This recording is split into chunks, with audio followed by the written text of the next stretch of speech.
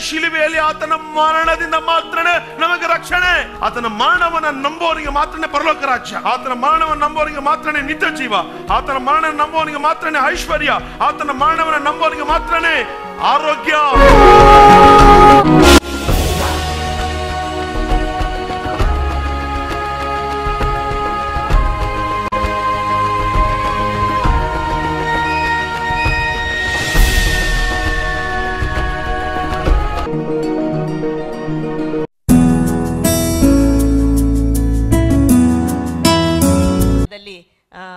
ಮದುವೆಗಾಗಿ ಮತ್ತು ದಾಂಪತ್ಯ ಜೀವಿತಕ್ಕೆ ಕಾಲಿಲಿಕ್ಕಿರುವಂಥ ನಮ್ಮ ಪ್ರಿಯ ಸಹೋದರ ಸಹೋದರಿಗಾಗಿ ಸಹ ನಾನು ದೇವರಿಗೆ ಸ್ತೋತ್ರ ಮಾಡ್ತೇನೆ. ದೇವರ ವಾಕ್ಯ ಹೇಳ್ತೈತೆ, ಒಬ್ಬರಿಗಿಂತ ಇಬ್ಬರು ಲೇಸು ಎಂಬುದಾಗಿ. ಹಲಲೂಯ ದಾಂಪತ್ಯವು ಮಾನ್ಯವಾದದ್ದೆಂಬುದಾಗಿ, ಎಲ್ಲರೂ ಎಣಿಸಬೇಕೆಂಬುದಾಗಿ. ಯಾಕಂದರೆ ದಾಂಪತ್ಯವನ್ನುವಂಥದ್ದು ಮನುಷ್ಯನಿಂದ ಮತ್ತು ಏರ್ಪಾಟಾದಂಥ ಸಂಗತಿ ಅಲ್ಲ ದೇವರೇ ಇದನ್ನು ಮನುಷ್ಯನಿಗಾಗಿ ಏರ್ಪಾಟು ಮಾಡಿರುವಂಥ ಸಂಗತಿಯಾಗಿದೆ. ಹಲಲೂಯ ದೇವರು ಯಾವುದನ್ನು ಏರ್ಪಾಟು ಮಾಡಿರ್ತಾನೋ ಅದು ತುಂಬ ಒಳ್ಳೆಯದು. ಹಲಲೂಯ ಅದರಲ್ಲಿ ಖಂಡಿತ ಆಶೀರ್ವಾದವಿದೆ. ಅದರಲ್ಲಿ ಖಂಡಿತ ಮತ್ತು ಅಭಿವೃದ್ಧಿ ಮತ್ತು ದೇವರ ಮತ್ತು ಧನ್ಯತೆ ನಮ್ಮ ಹಿಂಬಾಲಿಸುವಂಥದ್ದಾಗಿರ್ತದೆ ಹಲಲೂಯ ದೇವರ ನಮಗೆ ಸ್ತೋತ್ರವಾಗಲಿ, ಈ ದಿನ ಪವಿತ್ರಾತ್ಮನು ನನ್ನ ಹೃದಯದಲ್ಲಿಟ್ಟಂಥ ಮತ್ತು ದೇವರ ವಾಕ್ಯವನ್ನು ನಿಮ್ಮ ಮಧ್ಯದಲ್ಲಿ ಹಂಚಿಕೊಳ್ಳಿಕ್ಕೆ ನಾನು ಇಷ್ಟಪಡ್ತೇನೆ. ನಾವೆಲ್ಲರೂ ನಮ್ಮ ಸತ್ಯವೇದವನ್ನು ಯೋಹಾನನು ಬರೆದಂಥ ಮೊದಲನೇ ಪತ್ರಿಕೆ. ಎಸ್ ಯೋಹಾನನು ಬರೆದಂಥ ಮೊದಲನೇ ಪತ್ರಿಕೆ ಒಂದನೇ ಸಂಧಿ ಒಂದನೇ ವಚನದಿಂದ ನಾಲ್ಕನೇ ವಚನ ತನಕ. ನಾವು ನಿಮಗೆ ಪ್ರಸಿದ್ಧಿಪಡಿಸುವ ಜೀವವಾಕ್ಯವು ಆದಿಯಿಂದ ಇದ್ದದ್ದು. ನಾವು ಅದನ್ನು ಕಿವಿಯ ಕಿವಿಯಾರೆ ಕೇಳಿ, ಕಣ್ಣಾರೆ ಕಂಡು, ಮನಸ್ಸಿಟ್ಟು ನೋಡಿ, ಕೈಯಿಂದ ಮುಟ್ಟಿದ್ದೇವೆ. ಆ ಜೀವವು ಪ್ರತ್ಯಕ್ಷವಾಯಿತು. ತಂದೆಯ ಬಳಿಯಲ್ಲಿದ್ದು ನಮಗೆ ಪ್ರತ್ಯಕ್ಷವಾದಂತ ಆ ನಿತ್ಯ ಜೀವವನ್ನು ನಾವು ಕಂಡು ಅದನ್ನು ಕುರಿತು ಸಾಕ್ಷಿ ಹೇಳಿ ಅದನ್ನು ನಿಮಗೆ ಪ್ರಸಿದ್ಧಿಪಡಿಸುತ್ತೇವೆ. ನಾವು ನಾವು ಕಂಡು ಕೇಳಿದ್ದು ನಿಮಗೂ ಗೊತ್ತಾಗಿ ನಮಗಿರುವ ಅನ್ಯೋನ್ಯತೆಯಲ್ಲಿ ನೀವು ಸೇರಬೇಕೆಂದು ಅದನ್ನು ನಿಮಗೆ ಪ್ರಸಿದ್ಧಿಪಡಿಸುತ್ತೇವೆ. ನಮಗಿರುವ ಅನ್ಯೋನ್ಯತೆಯು ತಂದೆಯ ಸಂಗಡಲು ಆತನ ಮಗನಾದ ಯೇಸುಕ್ರಿಸ್ತನ ಸಂಗಡಲು ಇರುವಂಥದ್ದು. ನಮ್ಮ ನಮ್ಮ ಭಯತ್ತರ ಸಂತೋಷವು ಪರಿಪೂರ್ಣವಾಗಬೇಕೆಂದು ನಾವು ಈ ಮಾತುಗಳನ್ನು ಬರೆಯುತ್ತೇವೆ. ಹಲಲೂಯ ಹಲಲೂಯ ಪ್ರೈಸ್ ಅಲಾಡ್ ದೇವ್ರ ನಾವು ಸ್ತೋತ್ರವಾಗಲಿ. ಇಲ್ಲಿ ಅದ್ಭುತವಾದಂಥ ಒಂದು ಸಂಗತಿ ಸಂಗತಿ ಅನ್ನೋದಕ್ಕಿಂತ ಒಂದು ಸತ್ಯ ಇಲ್ಲಿ ಪವಿತ್ರಾತ್ಮನು ಯೋಹಾನನ ಮೂಲಕ ಬರೆಸಿದ್ದಾನೆ. ಈ ಸತ್ಯವನ್ನು ನಾವು ಅರ್ಥ ಮಾಡಿಕೊಳ್ಳುವಂಥದ್ದಾದರೆ, ಈಗ ನಮ್ಮ ಪ್ರಿಯ ಸಹೋದರ ಸಹೋದರಿಯರು ಕಾಲಿಡ್ಲಿಕ್ಕೆ ಇರುವಂಥ ದಾಂಪತ್ಯ ಜೀವಿತವಾಗಲಿ, ಇಡೀ ನಮ್ಮ ಭವಿಷ್ಯತ್ತಾಗಲಿ, ನಮ್ಮ ಅನುದಿನದ ಜೀವಿತವಾಗಲಿ, ಯಾವುದು ಸಹ ನಮಗೊಂದು ಚಾಲೆಂಜ್ ಆಗಿ, ಕಷ್ಟವಾಗಿ, ಇದು ಹೇಗಪ್ಪ ಅನ್ನುವಂಥ ಪ್ರಶ್ನೆಗಳಿಂದ ಇನ್ನು ಖಂಡಿತ ಇರಲಿಕ್ಕೆ ಚಾನ್ಸೇ ಇಲ್ಲ. ಪ್ರತಿ ದಿನವೂ ಸಹ ಜಯ ಜೀವಿತವನ್ನು ಮತ್ತು ಆನಂದ ಘೋಷದೊಡನೆ ನಾವು ನಡೆಸಲಿಕ್ಕೆ ನಮಗೆ ಸಾಧ್ಯವಾಗ್ತದೆ. ಅಲ್ಲೂಯ ಇಲ್ಲಿ ಹೀಗೆ ಬರೆಯಲ್ಪಟ್ಟಿದೆ, ಮೂರನೇ ವಚನ ಹೀಗೆ ಹೇಳ್ತದೆ ನಾವು ಕಂಡು ಕೇಳಿದ್ದು ನಿಮಗೆ ಗೊತ್ತಾಗಿ, ನಮಗಿರುವ ಅನ್ಯೋನ್ಯತೆಯಲ್ಲಿ ನೀವು ಸೇರಬೇಕೆಂದು ಇದನ್ನು ನಿಮಗೆ ಪ್ರಸಿದ್ಧಿಪಡಿಸುತ್ತೇವೆ. ನಮಗಿರುವ ಅನ್ಯೋನ್ಯತೆಯು ತಂದೆಯ ಸಂಗಡಲು, ಆತನ ಮಗನಾದ ಯೇಸು ಕ್ರಿಸ್ತನ ಸಂಗಡಲು ಇರುವಂಥದ್ದು. ಹಲಲೂಯ ಇಲ್ಲಿ ಯೋಹಾನನ್ ಹೇಳ್ತಾ ಇದ್ದಾನೆ ಆತನು ಸುವಾರ್ತೆಯನ್ನು ಯೇಸು ಕ್ರಿಸ್ತನ ಬಗ್ಗೆ ಅಲ್ಲಿರುವಂಥ ಜನರಿಗೆ ಪರಿಚಯ ಮಾಡಲಿಕ್ಕಿಂತ ಮುಂಚೆ ಆತನು ಹೇಳ್ ಹೇಳ್ತಿರುವಾಗ ಆತನು ಹೇಳ್ತಿರುವಂಥ ಸಂಗತಿ ಏನಂದ್ರೆ, ನಮಗಿರುವಂಥ ಅನ್ಯೋನ್ಯತೆಯು ನಿಮಗೂ ಉಂಟಾಗಿ ಎಂಬುದಾಗಿ ಆತನು ಮಾತನಾಡ್ತಿದ್ದಾನೆ. ಮಾತನಾಡಿ ಆತನ ಕೆಳಗಡೆ ಹೇಳ್ತಾನೆ ನಮಗಿರುವಂಥ ಅನ್ಯೋನ್ಯತೆಯು ಯಾರ ಸಂಗಡಲ? ಎಂಬುದಾಗಿ ಹೇಳ್ತಾ ಇರುವಾಗ, ಅದು ತಂದೆಯಾದ ದೇವರ ಸಂಗಡಲು, ಕರ್ತನಾದ ಯೇಸು ಕ್ರಿಸ್ತನ ಸಂಗಡಲು ಎಂಬುದಾಗಿ. ಹಲಲೂಯ ಯೋಹನನ್ ಹೇಳ್ತಿದ್ದಾನೆ, ನಮಗೆ ಒಂದು ಅನ್ಯೋನ್ಯತೆ ಇದೆ ನಮಗೆ ಒಂದು ಸಂಬಂಧ ಇದೆ. ಆ ಸಂಬಂಧ ಅಥವಾ ಅನ್ಯೋನ್ಯತೆ ಯಾರ ಸಂಗಡ ಅಂದರೆ ಭೂಪರ ಲೋಕಗಳನ್ನು ಉಂಟು ಮಾಡಿರುವಂಥ ಎಲ್ಲ ಮನುಷ್ಯರ ಸ್ಥಿತಿಗತಿಗಳನ್ನು ಕೈಯಲ್ಲಿ ಹಿಡಿದುಕೊಂಡಂಥ ಎಲ್ಲ ಸಮಸ್ಯೆಗಳನ್ನು ಪರಿಹಾರ ಮಾಡಲು ಶಕ್ತ, ಎಲ್ಲ ದರಿದ್ರವನ್ನು ನೀಗಿಸಲಿಕ್ಕೆ ಶಕ್ತನು, ಮನುಷ್ಯರ ಜೀವಿತಗಳನ್ನು ಬೆಳಗಿಸಲಿಕ್ಕೆ ಸಮರ್ಥನಾದಂಥ ತಂದೆಯಾದ ದೇವರ ಸಂಗಡಲು, ನಮ್ಮ ಕರ್ತನು ರಕ್ಷಕನಾದಂಥ ಯೇಸು ಕ್ರಿಸ್ತನ ಸಂಗಡಲು ಎಂಬುದಾಗಿ. ಹಲಲೂಯ ಅಂದ್ರೆ ಇಲ್ಲಿ ದೇವರ ವಾಕ್ಯ ಹೇಳ್ತೈತೆ, ಯೇಸು ಕ್ರಿಸ್ತನಲ್ಲಿ ಯಾವ ಒಬ್ಬ ಯಾವ ಒಬ್ಬ ವ್ಯಕ್ತಿ ನಂಬಿಕೆ ಇಡುವಂಥದ್ದಾದರೆ ಆ ವ್ಯಕ್ತಿಗೆ ಇನ್ನು ಅನ್ಯೋನ್ಯತೆ ಯಾರ ಸಂಗಡಲ್ಲ ದೇವರ ಸಂಗಡಲು ಕರ್ತನಾದ ಯೇಸು ಕ್ರಿಸ್ತನ ಸಂಗಡಲು ಎಂಬುದಾಗಿ. ಹಲಲೂಯ ನಾವು ನೋಡ್ತೇವೆ ದೇವರ ವಾಕ್ಯವ ಅನೇಕ ಸಾರಿ ಇದು ನಾವು ಬರೆಯಲ್ಪಟ್ಟದನ್ನು ನಾವು ನೋಡ್ತೇವೆ. ಮನುಷ್ಯನು ಪಾಪ ಮಾಡಿರುವಂಥ ದೆಸೆಯಿಂದ ದೇವರ ಸಂಗಡ ಅನ್ಯೋನ್ಯತೆಯನ್ನು ಕಳ್ಕೊಂಡಾತನಾಗಿದ್ದಾನೆ ಎಂಬುದಾಗಿ. ಯಾಕಂದ್ರೆ ದೇವರು ಮನುಷ್ಯನನ್ನು ಉಂಟು ಮಾಡಿದಾಗ ತನ್ನ ಸಂಗಡ ಅನ್ಯೋನ್ಯತೆಗಾಗಿಯೇ ಮನುಷ್ಯನನ್ನು ಆತನು ಉಂಟು ಮಾಡಿದ. ಪ್ರೈಸಲಾಡ್ ಹಲಲೂಯ ದೇವರ ವಾಕ್ಯ ಹೇಳ್ತೈತೆ, ದೇವರು ಹವ್ವಳನ್ನು ಆದಾಮನನ್ನು ಉಂಟು ಮಾಡಿದ ನಂತರ ಪ್ರತಿದಿನ ಸಂಜೆ ಹವ್ವ ಆದಾಮನ ಹತ್ರ ಆತನ ಅನ್ಯೋನ್ಯತೆ ಮಾಡಲಿಕ್ಕೆ ಆತನು ಬರ್ತಾ ಇದ್ದ ಎಂಬುದಾಗಿ. ಹೌದಲ್ಲವಾ? ಹಲಲೂಯ ದೇವರ ಅನ್ಯೂನ್ಯತೆಯಲ್ಲಿ ಆದಿ ಮನುಷ್ಯನಿದ್ದ, ಅಂದ್ರೆ ಮೊದಲಿಗೆ ಸೃಷ್ಟಿ ಮಾಡಲ್ಪಟ್ಟ ಆದಾಮನಿದ್ದ. ಆದ್ರೆ ಯಾವಾಗಾದ್ರೆ ಆದಾಮನು, ಅವರು ದೇವರ ಮಾತಿಗೆ ವಿಧೀತ ತೋರಿ ಪಾಪ ಮಾಡಿದ್ರು, ದೇವರ ವಾಕ್ಯ ಹೇಳ್ತೈತೆ, ದೇವರ ಅನ್ಯೋನ್ಯತೆಯಿಂದ ಅವರು ದೂರವಾದರು ಎಂಬುದಾಗಿ. ಹೌದಲ್ವಾ? ಪ್ರೈಸಲಾಡ್ ದೇವರ ಅನ್ಯೋನ್ಯತೆಯನ್ನು ಅವರು ಕಳಕೊಂಡರು ಎಂಬುದಾಗಿ. ದೇವರ ಸಂಬಂಧಕ್ಕೆ ಅವರು ಸತ್ತವರಾದರು ಎಂಬುದಾಗಿ ದೇವರ ವಾಕ್ಯ ಹೇಳ್ತೈತೆ. ಹೌದಲ್ವಾ?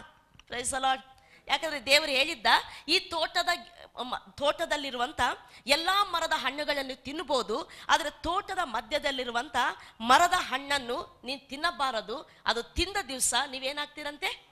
ಸತ್ತೇ ಸಾಯುವಿರಿ ಎಂಬುದಾಗಿ. ಆದರೆ ಅವರ ಹಣ್ಣನ್ನು ತಿಂದಾಗ ಸತ್ತರು ಎಂಬುದಾಗಿ ದೇವರ ವಾಕ್ಯ ಹೇಳ್ತೈತೆ. ಎಲ್ಲಿ ಸತ್ತರು ಅಂದರೆ ನಾವು ನೋಡ್ತೇವೆ ಆತ್ಮದಲ್ಲಿ ಸತ್ತರು ಎಂಬುದಾಗಿ ನಮಗೆಲ್ಲರಿಗೂ ಗೊತ್ತಿರುವಂಥ ಸಂಗತಿ. ವಿಷಯ ಏನಂದ್ರೆ ದೇವರ ಸಂಬಂಧಕ್ಕೆ ಅವರು ಸತ್ತವರಾದರು. ದೇವರ ಅನ್ಯೋನ್ಯತೆಯನ್ನು ಕಳಕೊಂಡವರಾದರು ಎಂಬುದಾಗಿ ಅದರ ಅರ್ಥ. ಪ್ರೈಸ್ ಅಲಾಡ್ ಅಷ್ಟು ತನಕ ದೇವರಿಂದ ಹುಟ್ಟು ಮಾಡಲ್ಪಟ್ಟ ಮನುಷ್ಯ, ದೇವರ ಅನ್ಯೋನ್ಯತೆಯಲ್ಲಿದ್ದ ದೇವರ ಸಂಬಂಧದಲ್ಲಿದ್ದ, ದೇವರ ಆಶೀರ್ವಾದಗಳನ್ನು ಧಾರಾಳವಾಗಿ ಅನುಭವಿಸ್ತಾ ಇದ್ದ, ಯಾವ ವೈರಿ ಕುರಿತಾದಂಥ ಭಯವಾಗಲಿ, ಯಾವ ಶತ್ರುನ ಕುರಿತಾದಂಥ ಪೀಡೆಯಾಗಲಿ, ಯಾವ ಸಮಸ್ಯೆಯಾಗಲಿ ಆ ಮನುಷ್ಯನಿಗೆ ಇರಲಿಲ್ಲ.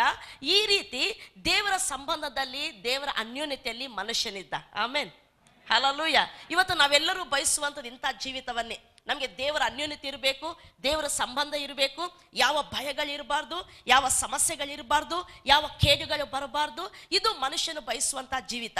ನಿಜಕ್ಕೂ ಮನುಷ್ಯನು ಉಂಟು ಮಾಡಲ್ಪಟ್ಟ ದಿನದಲ್ಲಿ ದೇವರು, ದೇವರ ಸಂಗಡ ಮನುಷ್ಯನಿಗೆ ಅಂತ ಸಂಬಂಧವಿತ್ತು ಅಂತ ಅನ್ಯೋನ್ಯತೆ ಇತ್ತು. ಯಾವ ಭಯವೂ ಅವನಿಗೆ ಇರಲಿಲ್ಲ ಯಾವ ಪೀಡೆಯೂ ಅವನಿಗೆ ಇರಲಿಲ್ಲ. ಹಲಲೂಯ ಆದರೆ ಯಾವಾಗಾದ್ರೆ ಆದಾಮನು ದೇವರ ವಾಕ್ಯಕ್ಕೆ ಅವಿಧೇತ ತೋರಿ, ಆ ತಿನ್ನಬಾರದು ಅಂತ ಹೇಳಿರುವಂಥ ಹಣ್ಣನ್ನು ತಿಂದನು, ಅವನು ಸತ್ತ ಎಂಬುದಾಗಿ ದೇವರ ವಾಕ್ಯ ಹೇಳ್ತೈತೆ. ಅದಕ್ಕೆ ದೇವರ ವಾಕ್ಯ ಹೇಳ್ತೈತೆ ಎಫ್ ಎಸ್ ಸಿರಿಗೆ ಬರೆದಂತ ಪತ್ರಿಕೆ ಅಪೋಸ್ತನಾದ ಪೌಲನು ಎಫ್ ಎಸ್ ಅದವರಿಗೆ ಬರೆದಂಥ ಪತ್ರಿಕೆ, ಎರಡನೇ ಸಂಧಿ ಒಂದನೇ ವಚನ. ಏನಂತ ಬರೆಯಲ್ಪಟ್ಟಿದೆ? ಆತನು ಆ. ಅಪರಾಧಗಳ ಮತ್ತು ಪಾಪ ಪಾಪಗಳ ದೆಸೆಯಿಂದ ಸತ್ತವರಾಗಿದ್ದ. ಅಪರಾಧಗಳ ಮತ್ತು ಪಾಪಗಳ ದೆಸೆಯಿಂದ ಸತ್ತವರಾಗಿದ್ದ. ನಿಮ್ಮನ್ನು ಸಹ ಬದುಕಿಸಿದನು. ನಿಮ್ಮನ್ನು ಸಹ ಬದುಕಿಸಿ. ಇಲ್ಲಿ ದೇವರ ವಾಕ್ಯ ಹೇಳ್ತೈತೆ ಅಪರಾಧಗಳ ಮತ್ತು ಪಾಪಗಳ ದೆಸೆಯಿಂದ ಸತ್ತವರಾದ ನಿಮ್ಮನ್ನು ಸಹ ಎಂಬುದಾಗಿ. ಅಂದ್ರೆ ನಾನು ಹೇಳ್ತಾ ಇದ್ದೇನೆ ಆದಾಮನು ಪಾಪ ಮಾಡಿದಾಗ ಅವನು ಸತ್ತ ಎಂಬುದಾಗಿ. ಎಲ್ಲರೂ ಹೇಳೋಣ ಆದಾಮನು ಪಾಪ ಮಾಡಿದಾಗ ಅವನೇನಾದ? ಸತ್ತು ಹೋದ. ಇಲ್ಲಿ ದೇವರ ವಾಕ್ಯ ಹೇಳ್ತೈತೆ, ನೀವು ಅಪರಾಧಗಳ ಮತ್ತು ಪಾಪಗಳ ದೆಸೆಯಿಂದ ಸತ್ತವರಾಗಿದ್ರಿ ಎಂಬುದಾಗಿ. ಹೌದಲ್ವಾ?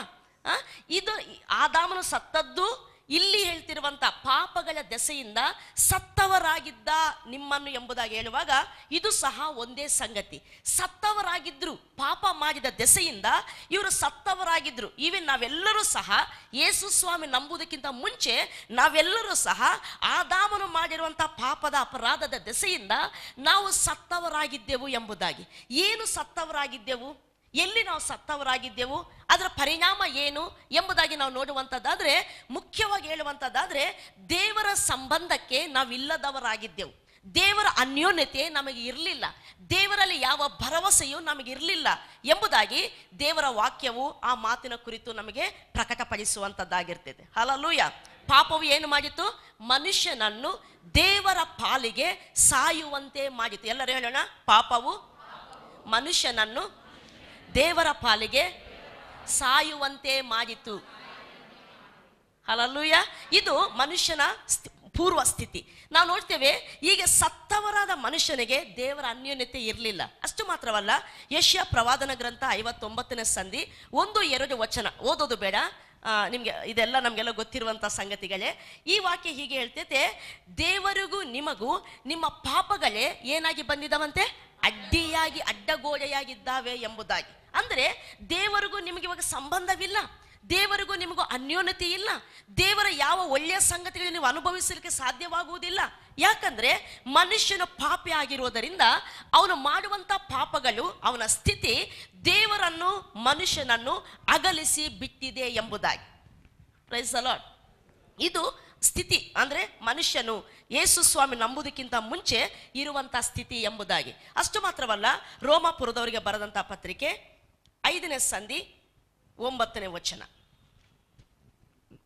ಒಂಬತ್ತು ಹತ್ತು ವಚನಗಳು ನೋಡೋಣ. ಈಗ ನಾವು ಯೇಸುವಿನ ರಕ್ತದಿಂದ ನೀತಿವಂತರಾಗಿರಲಾಗಿ ಆತನ ಮೂಲಕ ಬರುವ ಕೋಪಕ್ಕೆ ತಪ್ಪಿಸಿಕೊಳ್ಳುವುದು ಮತ್ತು ನಿಶ್ಚಯವಲ್ಲವೇ? ಓದಿ ಸಿಸ್ಟರ್ ಹತ್ತನೇ ವಚನ ಸರ್. ದೇವರಿಗೆ ವೈರಿಗಳಾದ ನಾವು ಸಾಕು. ಇಲ್ಲಿ ನಾವು ನೋಡ್ತೇವೆ, ದೇವರಿಗೆ ವೈರಿಗಳಾಗಿದ್ದ ನಾವು ಎಂಬುದಾಗಿ. ಅಂದ್ರೆ ಮನುಷ್ಯನು ಪಾಪಿಯಾಗಿದ್ದಾಗ ದೇವರ ಹತ್ರ ಸಂಬಂಧ ಇರಲಿಲ್ಲ, ದೇವರಿಗೂ ಅವನಿಗೂ ಅಡ್ಡಗೋಡೆಯಾಗಿ ಪಾಪವಿತ್ತು, ದೇವರ ಅನ್ಯೋನ್ಯತೆಯನ್ನು ಕಳ್ಕೊಂಡವನಾಗಿದ್ದ. ಇಲ್ಲಿ ದೇವರ ವಾಕ್ಯ ಹೇಳ್ತೈತೆ, ದೇವರಿಗೆ ನಾವು ವೈರಿಗಳು ಆಗಿದ್ದೇವಂತೆ, ದೇವರಿಗೆ ಶತ್ರುಗಳಾಗಿ ನಾವಿದ್ದೆವು ಎಂಬುದಾಗಿ. ಇದಕ್ಕಿಂತ ಮುಂಚೆ ಎಂಟು, ಒಂಬತ್ತನೇ ವಚನ ನಾವು ಓದಿದ್ದೇವಲ್ಲ? ದೇವರ ಕೋಪ ಎಂಬುವಂಥ ಮಾತನ್ನು ನಾವು ನೋಡ್ತೇವೆ. ಅಂದರೆ ದೇವರ ಕೋಪಕ್ಕೆ ಮನುಷ್ಯ ಗುರಿಯಾಗಿದ್ದ ಎಂಬುದಾಗಿ. ಅರ್ಥ ಆಗ್ತಾ ಉಂಟಲ್ಲ ನಾನು ಹೇಳೋದು? ಪ್ರೈಸ್ ಅಲಾಡ್ ಹಲಲೂಯ ಅಂದರೆ ಮನುಷ್ಯನು ಪಾಪ ಮಾಡಿದಾಗ ದೇವರ ಅನ್ಯೋನ್ಯತೆಯಿಂದ, ದೇವರ ಸಂಬಂಧದಿಂದ ಅವನು ದೂರವಾಗಿದ್ದ, ಆ ಸಂಬಂಧ ಅವನಿಗೆ ಇರಲಿಲ್ಲ ಎಂಬುವಂತಹ ಸಂಗತಿಯನ್ನು ಸತ್ಯವೇದ ನಮಗೆ ಸ್ಪಷ್ಟಪಡಿಸ್ತೈತೆ ಆದರೆ ಯೋಹಾನನು ಬರೀತಾನೆ, ನಾವೀಗ ಬ ನೋಡಿದೇವಲ್ಲ, ಮೊದಲನೇ ಪತ್ರಿಕೆ, ಒಂದನೇ ಸಂಧಿ, ಮೂರನೇ ವಚನ. ಏನಂತ ಹೇಳ್ತೈತೆ ನಮಗಿರುವ ಅನ್ಯೋನ್ಯತೆಯು, ಎಲ್ಲರೂ ಹೇಳೋಣ, ನಮಗಿರುವ ಅದು ತಂದೆಯಾದ ದೇವರ ಸಂಗಡಲು ಮಗನಾದ ಯೇಸು ಕ್ರಿಸ್ತನ ಸಂಗಡಲು ಇರುವಂಥದ್ದು ಅಂದರೆ ಒಂದು ದಿನ ನಾವು ಕ್ರಿಸ್ತನನ್ನು ಅರಿಯುವುದಕ್ಕಿಂತ ಮುಂಚೆ ಆದಾಮನು ಮಾಡಿರುವಂಥ ಪಾಪದ ದೆಸೆಯಿಂದ ನಾವೆಲ್ಲರೂ ಸಹ ಪಾಪಿಗಳಾಗಿದ್ದೆವು. ನಾವು ಪಾಪಿಗಳಾಗಿರುವುದರಿಂದ ನಮ್ಮನ್ನು ಆಶೀರ್ವಾದ ಮಾಡಲಿಕ್ಕೆ ಶಕ್ತನಾದಂಥ ದೇವರು ಖೇಡುಗಳಿಗೆ ತಪ್ಪಿಸಲಿಕ್ಕೆ ಸಮರ್ಥನಾದಂಥ ದೇವರು, ನಮ್ಮ ಜೀವಕ್ಕೆ ಆಧಾರವಾಗಿರುವಂಥ ನಮ್ಮ ಸೃಷ್ಟಿಕರ್ತನಾದ ದೇವರ ಸಂಬಂಧದಿಂದ, ಆತನ ಅನ್ಯೋನ್ಯತೆಯಿಂದ ನಾವು ದೂರವಾಗಿರುವಂಥ ವ್ಯಕ್ತಿಗಳು ನಾವಾಗಿದ್ದೆವು. ನಮಗೆ ದೇವರ ಹತ್ರ ಸಂಬಂಧನೇ ಇರಲಿಲ್ಲ. ಆದರೆ ದೇವರಿಗೆ ಸ್ತೋತ್ರ, ಯೋಹಾನನು ಬರೀತಿದ್ದಾನೆ, ನಮಗೆ ಜೀವವಾಕ್ಯವು ಪ್ರತ್ಯಕ್ಷವಾಗಿದೆ. ಅದನ್ನು ನಾವು ಕಣ್ಣಾರ ಕಂಡಿದ್ದೇವೆ, ಕಿವಿಯಾರ ಕೇಳಿದ್ದೇವೆ, ನಮ್ಮ ಕೈಗಳು ಆತನನ್ನು ಮುಟ್ಟಿ ನೋಡಿದ್ದಾವೆ. ಆತನಲ್ಲಿರುವಂಥ ಜೀವ ನಮಗೀಗ ಪ್ರತ್ಯಕ್ಷವಾಗಿದೆ. ಆ ಅದರ ದೆಸೆಯಿಂದ ಯೇಸು ಕ್ರಿಸ್ತನಲ್ಲಿ ದೇವರ ಜೀವ ನಮಗೆ ಪ್ರತ್ಯಕ್ಷವಾಗಿರುವುದರಿಂದ ಈಗ ಆದಾಮನ ಮೂಲಕ ಯಾವ ಅನ್ಯೋನ್ಯತೆ ನಾವು ಕಳ್ಕೊಂಡವರಾಗಿದ್ದೇವೋ, ಈಗ ನಾವು ದೇವರ ಸಂಗಡಲು ಕರ್ತನಾದ ಕ್ರಿಸ್ತನ ಸಂಗಡಲು ಅನ್ಯೋನ್ಯತೆಯನ್ನು ಹೊಂದಿಕೊಂಡವರು ಆಗಿದ್ದೇವೆ ಎಂಬುದಾಗಿ. ಹಲಲೂಯ ಹಲಲೂಯ ಈಗ ಯಾರ್ಯಾರು ಯೇಸು ಕ್ರಿಸ್ತನಲ್ಲಿ ನಂಬಿಕಿಟ್ಟಿದ್ದಾರೋ ಯೇಸು ಕ್ರಿಸ್ತನು ನನ್ನ ರಕ್ಷಕನು, ಕರ್ತನೆಂಬುದಾಗಿ ಸ್ವೀಕಾರ ಮಾಡಿದ್ದಾರೋ, ಆತನ ರಕ್ತವು ನನ್ನ ಪಾಪಗಳನ್ನು ಪರಿಹಾರ ಮಾಡಿದೆಂಬುದಾಗಿ ನಂಬಿದ್ದಾರೋ, ದೇವರ ವಾಕ್ಯ ಹೇಳ್ತೈತೆ, ಅವರೆಲ್ಲರೂ ಸಹ ದೇವರ ವಾಕ್ಯ ಹೇಳ್ತೈತೆ, ದೇವರ ಪಾಲಿಗೆ ಬ್ರತಿಕಿದ್ದಾರೆ ಎಂಬುದಾಗಿ. ಪ್ರೈಸ್ ಅಲಾಡ್ ಅದೇ ಅಲ್ವಾ? ಎಫ್ ಎಸ್ ಸಿ ಪತ್ರಿಕೆ ಎರಡನೇ ಸಂಧಿ ಒಂದನೇ ವಚನ. ಇನ್ನೊಂದ್ಸರಿ ನಾವು ಓದಿಕೊಳ್ಳೋಣ. ಆತನು ಅಪರಾಧಗಳ ಮತ್ತು ಪಾಪಗಳ ದೆಸೆಯಿಂದ ಸತ್ತವರಾಗಿದ್ದ ನಿಮ್ಮನ್ನು ಸಹ ಬದುಕಿಸಿದನು. ಬದುಕಿಸಿದನು. ಹಲಲೂಯ ಕೆಳಗಡೆ ಸಿಸ್ಟರ್ ಐದನೇ ವಚನ ಓದಿ ಹಾಗೆ. ದೇವರು ನಮ್ಮ ಮೇ ದೇವರು ನಮ್ಮ ಮೇಲೆ ಮಹಾ ಪ್ರೀತಿಯನ್ನಿಟ್ಟು ಅಪರಾಧಗಳ ದೆಸೆಯಿಂದ ಸತ್ತವರಾಗಿದ್ದ ನಮ್ಮನ್ನು ಕ್ರಿಸ್ತನೊಂದಿಗೆ ಬದುಕಿಸಿದನು. ಬದುಕಿಸಿದನು. ಹಲಲೂಯ ಈ ವಾಕ್ಯವನ್ನು ಹೊಸ ಒಡಂಬಡಿಕೆಯಲ್ಲಿ ಅನೇಕ ಸಾರಿ ನೀವು ನೋಡಬಹುದು ಈವನ್ ಕೊಲಸಿ ಪತ್ರಿಕೆ ಎರಡನೇ ಸಂಧಿ ಹನ್ನೆರಡು ಹದಿಮೂರು ವಚನಗಳ ಸಹ ಇದೇ ಮಾತನ್ನು ಹೇಳುವಂತದ್ದಾಗಿರ್ತದೆ ಪಾಪದ ಅಪರಾಧಗಳ ದೆಸೆಯಿಂದ ಸತ್ತವರಾಗಿದ್ದ ಅಂತ ಹೇಳುವಾಗ ದೇವರ ಸಂಬಂಧವನ್ನು ಕಳ್ಕೊಂಡು ದೇವರ ಅನ್ಯೋನ್ಯತೆಗೆ ದೂರವಾಗಿದ್ದ ನಮ್ಮನ್ನು ಈಗ ಕ್ರಿಸ್ತನಲ್ಲಿ ದೇವರು ಬದುಕಿಸಿದ್ದಾನೆ.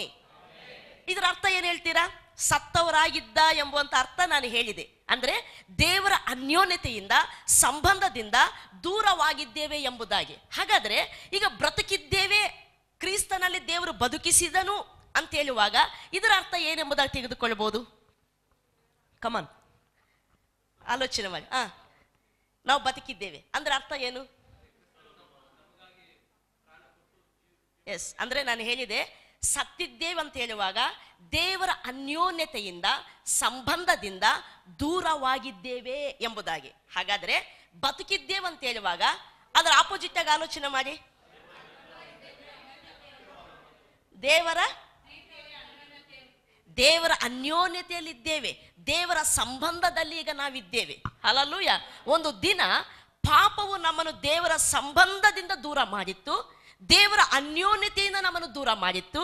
ಈಗ ಏಸು ಕ್ರಿಸ್ತನಲ್ಲಿ ನಾವು ನಂಬಿಕಿಡುವಾಗ ದೇವರ ಸಂಬಂಧಕ್ಕೆ ನಾವು ಸೇರಿದ್ದೇವೆ, ದೇವರ ಅನ್ಯೋನ್ಯತೆಗೆ ನಾವು ಸೇರಿದವರಾಗಿದ್ದೇವೆ. ಪ್ರೈಸ್ ಅಲಾಡ್ ಈಗ ಅದಕ್ಕೆ ದೇವರ ವಾಕ್ಯ ಹೇಳ್ತೈತೆ, ಪೌಲನ ಪ್ರತಿ ಪತ್ರಿಕೆಯಲ್ಲಿ ಬರೆಯುವಾಗ ಹೀಗೆ ಮಾತನಾಡ್ತಾನೆ, ಈಗ ಎಫ್ ಎಸ್ ಸಿ ಪತ್ರಿಕೆ ಅಥವಾ ಕೊರಂತಿ ಪತ್ರಿಕೆ ಕೊಲಸಿ ಪತ್ರಿಕೆ, ಯಾವ ಪತ್ರಿಕೆಯನ್ನು ತಗೊಂಡು ಬರೆಯುವಾಗ ಆತನು ಹೇಳ್ತಾನೆ ಕೊಲಸಿಯಲ್ಲಿರುವಂಥ ದೇವ ಜನರಿಗೆ ಬರೆಯುವುದು ಏನೆಂದರೆ?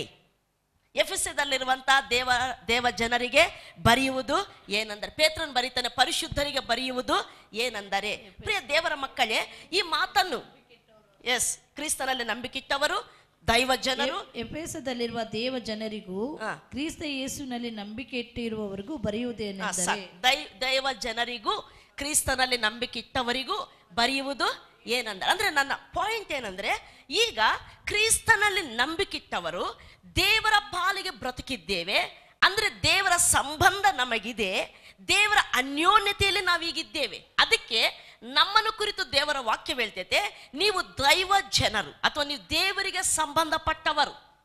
ಕಮಾನ್ ಹಲಲೂಯ ಈಗ ನಾವು ಯಾವ ಜನರಂತೆ? ದೇವ ಜನರು. ನಾವು ದೇವರಿಗೆ ದೂರವಾಗಿರುವವರಲ್ಲ. ದೇವರ ಅನ್ಯೋನ್ಯತೆ ಇಲ್ಲದವರಲ್ಲ. ದೇವರ ಸಂಬಂಧ ಇಲ್ಲದವರು ನಾವಲ್ಲ. ಯೇಸು ಕ್ರಿಸ್ತನಲ್ಲಿ ನಂಬಿಕಿಡುವಾಗ ಮನುಷ್ಯನಿಗೆ ಸಿಗುವಂತ ದೊಡ್ಡ ಅದ್ಭುತವಾದ ಸಂಗತಿ ಏನಂದ್ರೆ, ಯಾ ಪಾಪವು ಯಾವ ಸಂಬಂಧದಿಂದ, ಅಂದ್ರೆ ದೇವರ ಸಂಬಂಧದಿಂದ ನಮ್ಮನ್ನು ದೂರ ಮಾಡಿತ್ತಲ್ಲ, ಈಗ ಕ್ರಿಸ್ತ ನಂಬಿಕೆಯು ನಮ್ಮನ್ನು ದೇವರ ಸಂಬಂಧಕ್ಕೆ ಸೇರಿಸುವಂತದ್ದಾಗಿದೆ. ಅದಕ್ಕೆ ದೇವರ ವಾಕ್ಯ ಹೇಳ್ತೈತೆ, ನಿಮ್ಮನ್ನು ದೇವರು ಬದುಕಿಸಿದ್ದಾನೆ, ಅಂದ್ರೆ ಸತ್ತವರಾಗಿದ್ದೀರಿ ದೇವರ ಸಂಬಂಧದಲ್ಲಿ ನೀವು ಇರಲಿಲ್ಲ, ಈಗ ದೇವರ ಸಂಬಂಧಿಕರಾಗಿದ್ದೀರಿ, ದೇವರ ಸಂಬಂಧದಲ್ಲಿ ಸೇರಿದ್ದೀರಿ. ಈಗ ನಾವು ಪಾಪಿಗಳೆಂಬುದಾಗಿ ಕರೆಯಲ್ಪಡುವುದಿಲ್ಲ, ದೈವ ಜನರು ಎಂಬುದಾಗಿ. ಅದಕ್ಕೆ ದೇವರ ವಾಕ್ಯ ಹೇಳಿ ಯೇಸು ಸ್ವಾಮಿ ಹೇಳ್ತಾನೆ ಯಾರು ಯೇಸು ಕ್ರಿಸ್ತನನ್ನು ಸ್ವಂತ ರಕ್ಷಕನಾಗಿ ಸ್ವೀಕಾರ ಮಾಡ್ತಾರೋ, ಅಂದ್ರೆ ಆತನ ಹೆಸರಿನಲ್ಲಿ ನಂಬಿಕೆ ಇಡ್ತಾರೋ, ಅವರೆಲ್ಲರಿಗೂ ದೇವರ ಮಕ್ಕಳಾಗುವ ಅಧಿಕಾರವನ್ನು ಕೊಟ್ಟನು. ಅವರು ರಕ್ತದಿಂದಾಗಲಿ ಮಾಂಸ ಸಂಬಂಧದಿಂದಾಗಲಿ, ಕಾಮದಿಂದಾಗಲಿ ಹುಟ್ಟಿದವರು ಅಲ್ಲ come on fill up the bank ದೇವರಿಂದಲೇ ಹುಟ್ಟಿದವರು. ಅದಕ್ಕೆ ಕೆಳಗಡೆ ದೇವ, ನೀವು ದೇವರ ಸಂತತಿಯಾಗಿದ್ದೀರಿ. ದೇವರ ಮಕ್ಕಳು ನಾವಾಗಿದ್ದೇವೆ. ಅಂದ್ರೆ ಅರ್ಥ ಮಾಡಿಕೊಳ್ಳಿ, ನಮ್ಮ ಮಕ್ಕಳು ನಮ್ಗೆ ಸಂಬಂಧ ಇದ್ದಾರಾ ಇಲ್ಲವಾ? ನಮ್ಮ ಅನ್ಯೋನ್ಯತೆ ಅವ್ರಿಗೆ ಇರ್ತೈತಾ ಇಲ್ಲವಾ? ಅವರು ನಮ್ಮ ಅನ್ಯೋನ್ಯತೆಯಲ್ಲಿ ಇರ್ತಾರಾ ಇಲ್ಲವಾ ಕಮಾನ್ ಹಲಲೂಯ ಹಾಗಾದ್ರೆ ಯೇಸು ಕ್ರಿಸ್ತನಲ್ಲಿ ನಂಬಿಕಿಡುವಾಗ ದೇವರ ಮಕ್ಕಳು ನೀವಾಗಿದ್ದೀರಿ, ದೇವರಿಂದಲೇ ನೀವು ಹುಟ್ಟಿದ್ದೀರಿ, ದೇವರ ಸಂತತಿ ನಾವಾಗಿದ್ದೇವೆ. ಹಾಗಾದ್ರೆ ನಾವು ನಮಗೀಗ ಅದಕ್ಕೆ ಯೋಹಾನನ್ನು ಯೋಹಾನನು ಬರೆಯುವಂಥದ್ದು, ನಮಗಿರುವ ಅನ್ಯೋನ್ಯತೆ, ನಮಗಿರುವ ಸಂಬಂಧ ತಂದೆಯಾದ ದೇವರ ಸಂಗಡ. ನಾವು ಸಾಮಾನ್ಯರಲ್ಲ. ನಾವು ಗತಿಗೆಟ್ಟವರಲ್ಲ, ನಾವು ಅನಾಥರಲ್ಲ, ನಾವಿನ್ನು ಪಾಪಿಗಳು ನಿಕೃಷ್ಟರಲ್ಲ, ನಾವು ದೇವರ ಅನ್ಯೋನ್ಯತೆಗೆ ಸೇರಿಸಲ್ಪಟ್ಟಿದ್ದೇವೆ. ನಮ್ಗೆ ಈಗ ದೇವರ ಸಂಬಂಧದಲ್ಲಿ ನಾವಿದ್ದೇವೆ. ಯಾಕಂದ್ರೆ ನಾವು ಯೇಸು ಕ್ರಿಸ್ತ ಜೀವ ವಾಕ್ಯವು ನಮಗೆ ಪ್ರತ್ಯಕ್ಷವಾಗಿದೆ. ಆ ಜೀ ಕ್ರಿಸ್ತನಲ್ಲಿ ಆ ಜೀವ ವಾಕ್ಯವಾದಂತ ಕ್ರಿಸ್ತನನ್ನು ನಾವು ನಂಬುವುದರಿಂದ ಆ ಜೀವವು ನಮಗೆ ರಿವೀಲ್ ಆಗಿದೆ. ಆ ಜೀವವು ನಮ್ಮಲ್ಲಿ ನಾವು ಹೊಂದಿಕೊಂಡಿದ್ದೇವೆ. ಆದ್ದರಿಂದ ಈಗ ನಮ್ಮ ಅನ್ಯೋನ್ಯತೆಯು ಈ ಮಣ್ಣಿನ ಸಂಗಡ ಅಲ್ಲ. ಈ ಪಾಪದ ಸಂಗಡ ಅಲ್ಲ, ಅಥವಾ ಸೈತಾನನ ಸಂಗಡ ಅಲ್ಲ, ಅಥವಾ ದರಿದ್ರದ ಜೀವಿತ, ಅಂದ್ರೆ ಆಶೀರ್ವಾದ ಇಲ್ಲದಂತ ಶಾಪಗ್ರಸ್ತವಾದ ಜೀವಿತದ ಸಂಗಡ ಅಲ್ಲ. ಅದರಿಂದ ಎಲ್ಲ ಬಿಡುಗಡೆ ಹೊಂದಿದ್ದೇವೆ. ಕಾರಣವೇನೆಂದರೆ, ನಮ್ಮ ಸಂಬಂಧ ಈಗ ದೇವರ ಸಂಗಡ. ನಮ್ಮ ಅನ್ಯೋನ್ಯತೆ ದೇವರ ಸಂಗಡ. ಹಲಲೂಯ ಹಲಲೂಯ ಅದಕ್ಕೆ ಆತನು ಹೇಳ್ತಾ ಇದ್ದಾನೆ, ನಮಗಿರುವ ಅನ್ಯೋನ್ಯತೆ. ಪ್ರಿಯ ದೇವರ ಮಕ್ಕಳೇ, ನಾವು ತಿಳ್ಕೊಳ್ಬೇಕು. ಪ್ರತಿನಿತ್ಯ ನಮ್ಮ ಮನಸ್ಸಿಗೆ ಅರಿವನ್ನು ಕಲಿಸ್ತಾನೆ ಇರಬೇಕು. ಯೇಸು ಕ್ರಿಸ್ತನಲ್ಲಿ ನಾನು ನಂಬಿಕೆ ಇಟ್ಟಿದ್ದೇನೆ. ದೇವರ ವಾಕ್ಯ ಹೇಳ್ತೈತೆ, ನನಗೆ ಇರುವಂಥ ಅನ್ಯೋನ್ಯತೆ ದೇವರ ಸಂಗಡ. ನನಗಿರುವ ಸಂಬಂಧ ದೇವರ ಸಂಗಡ.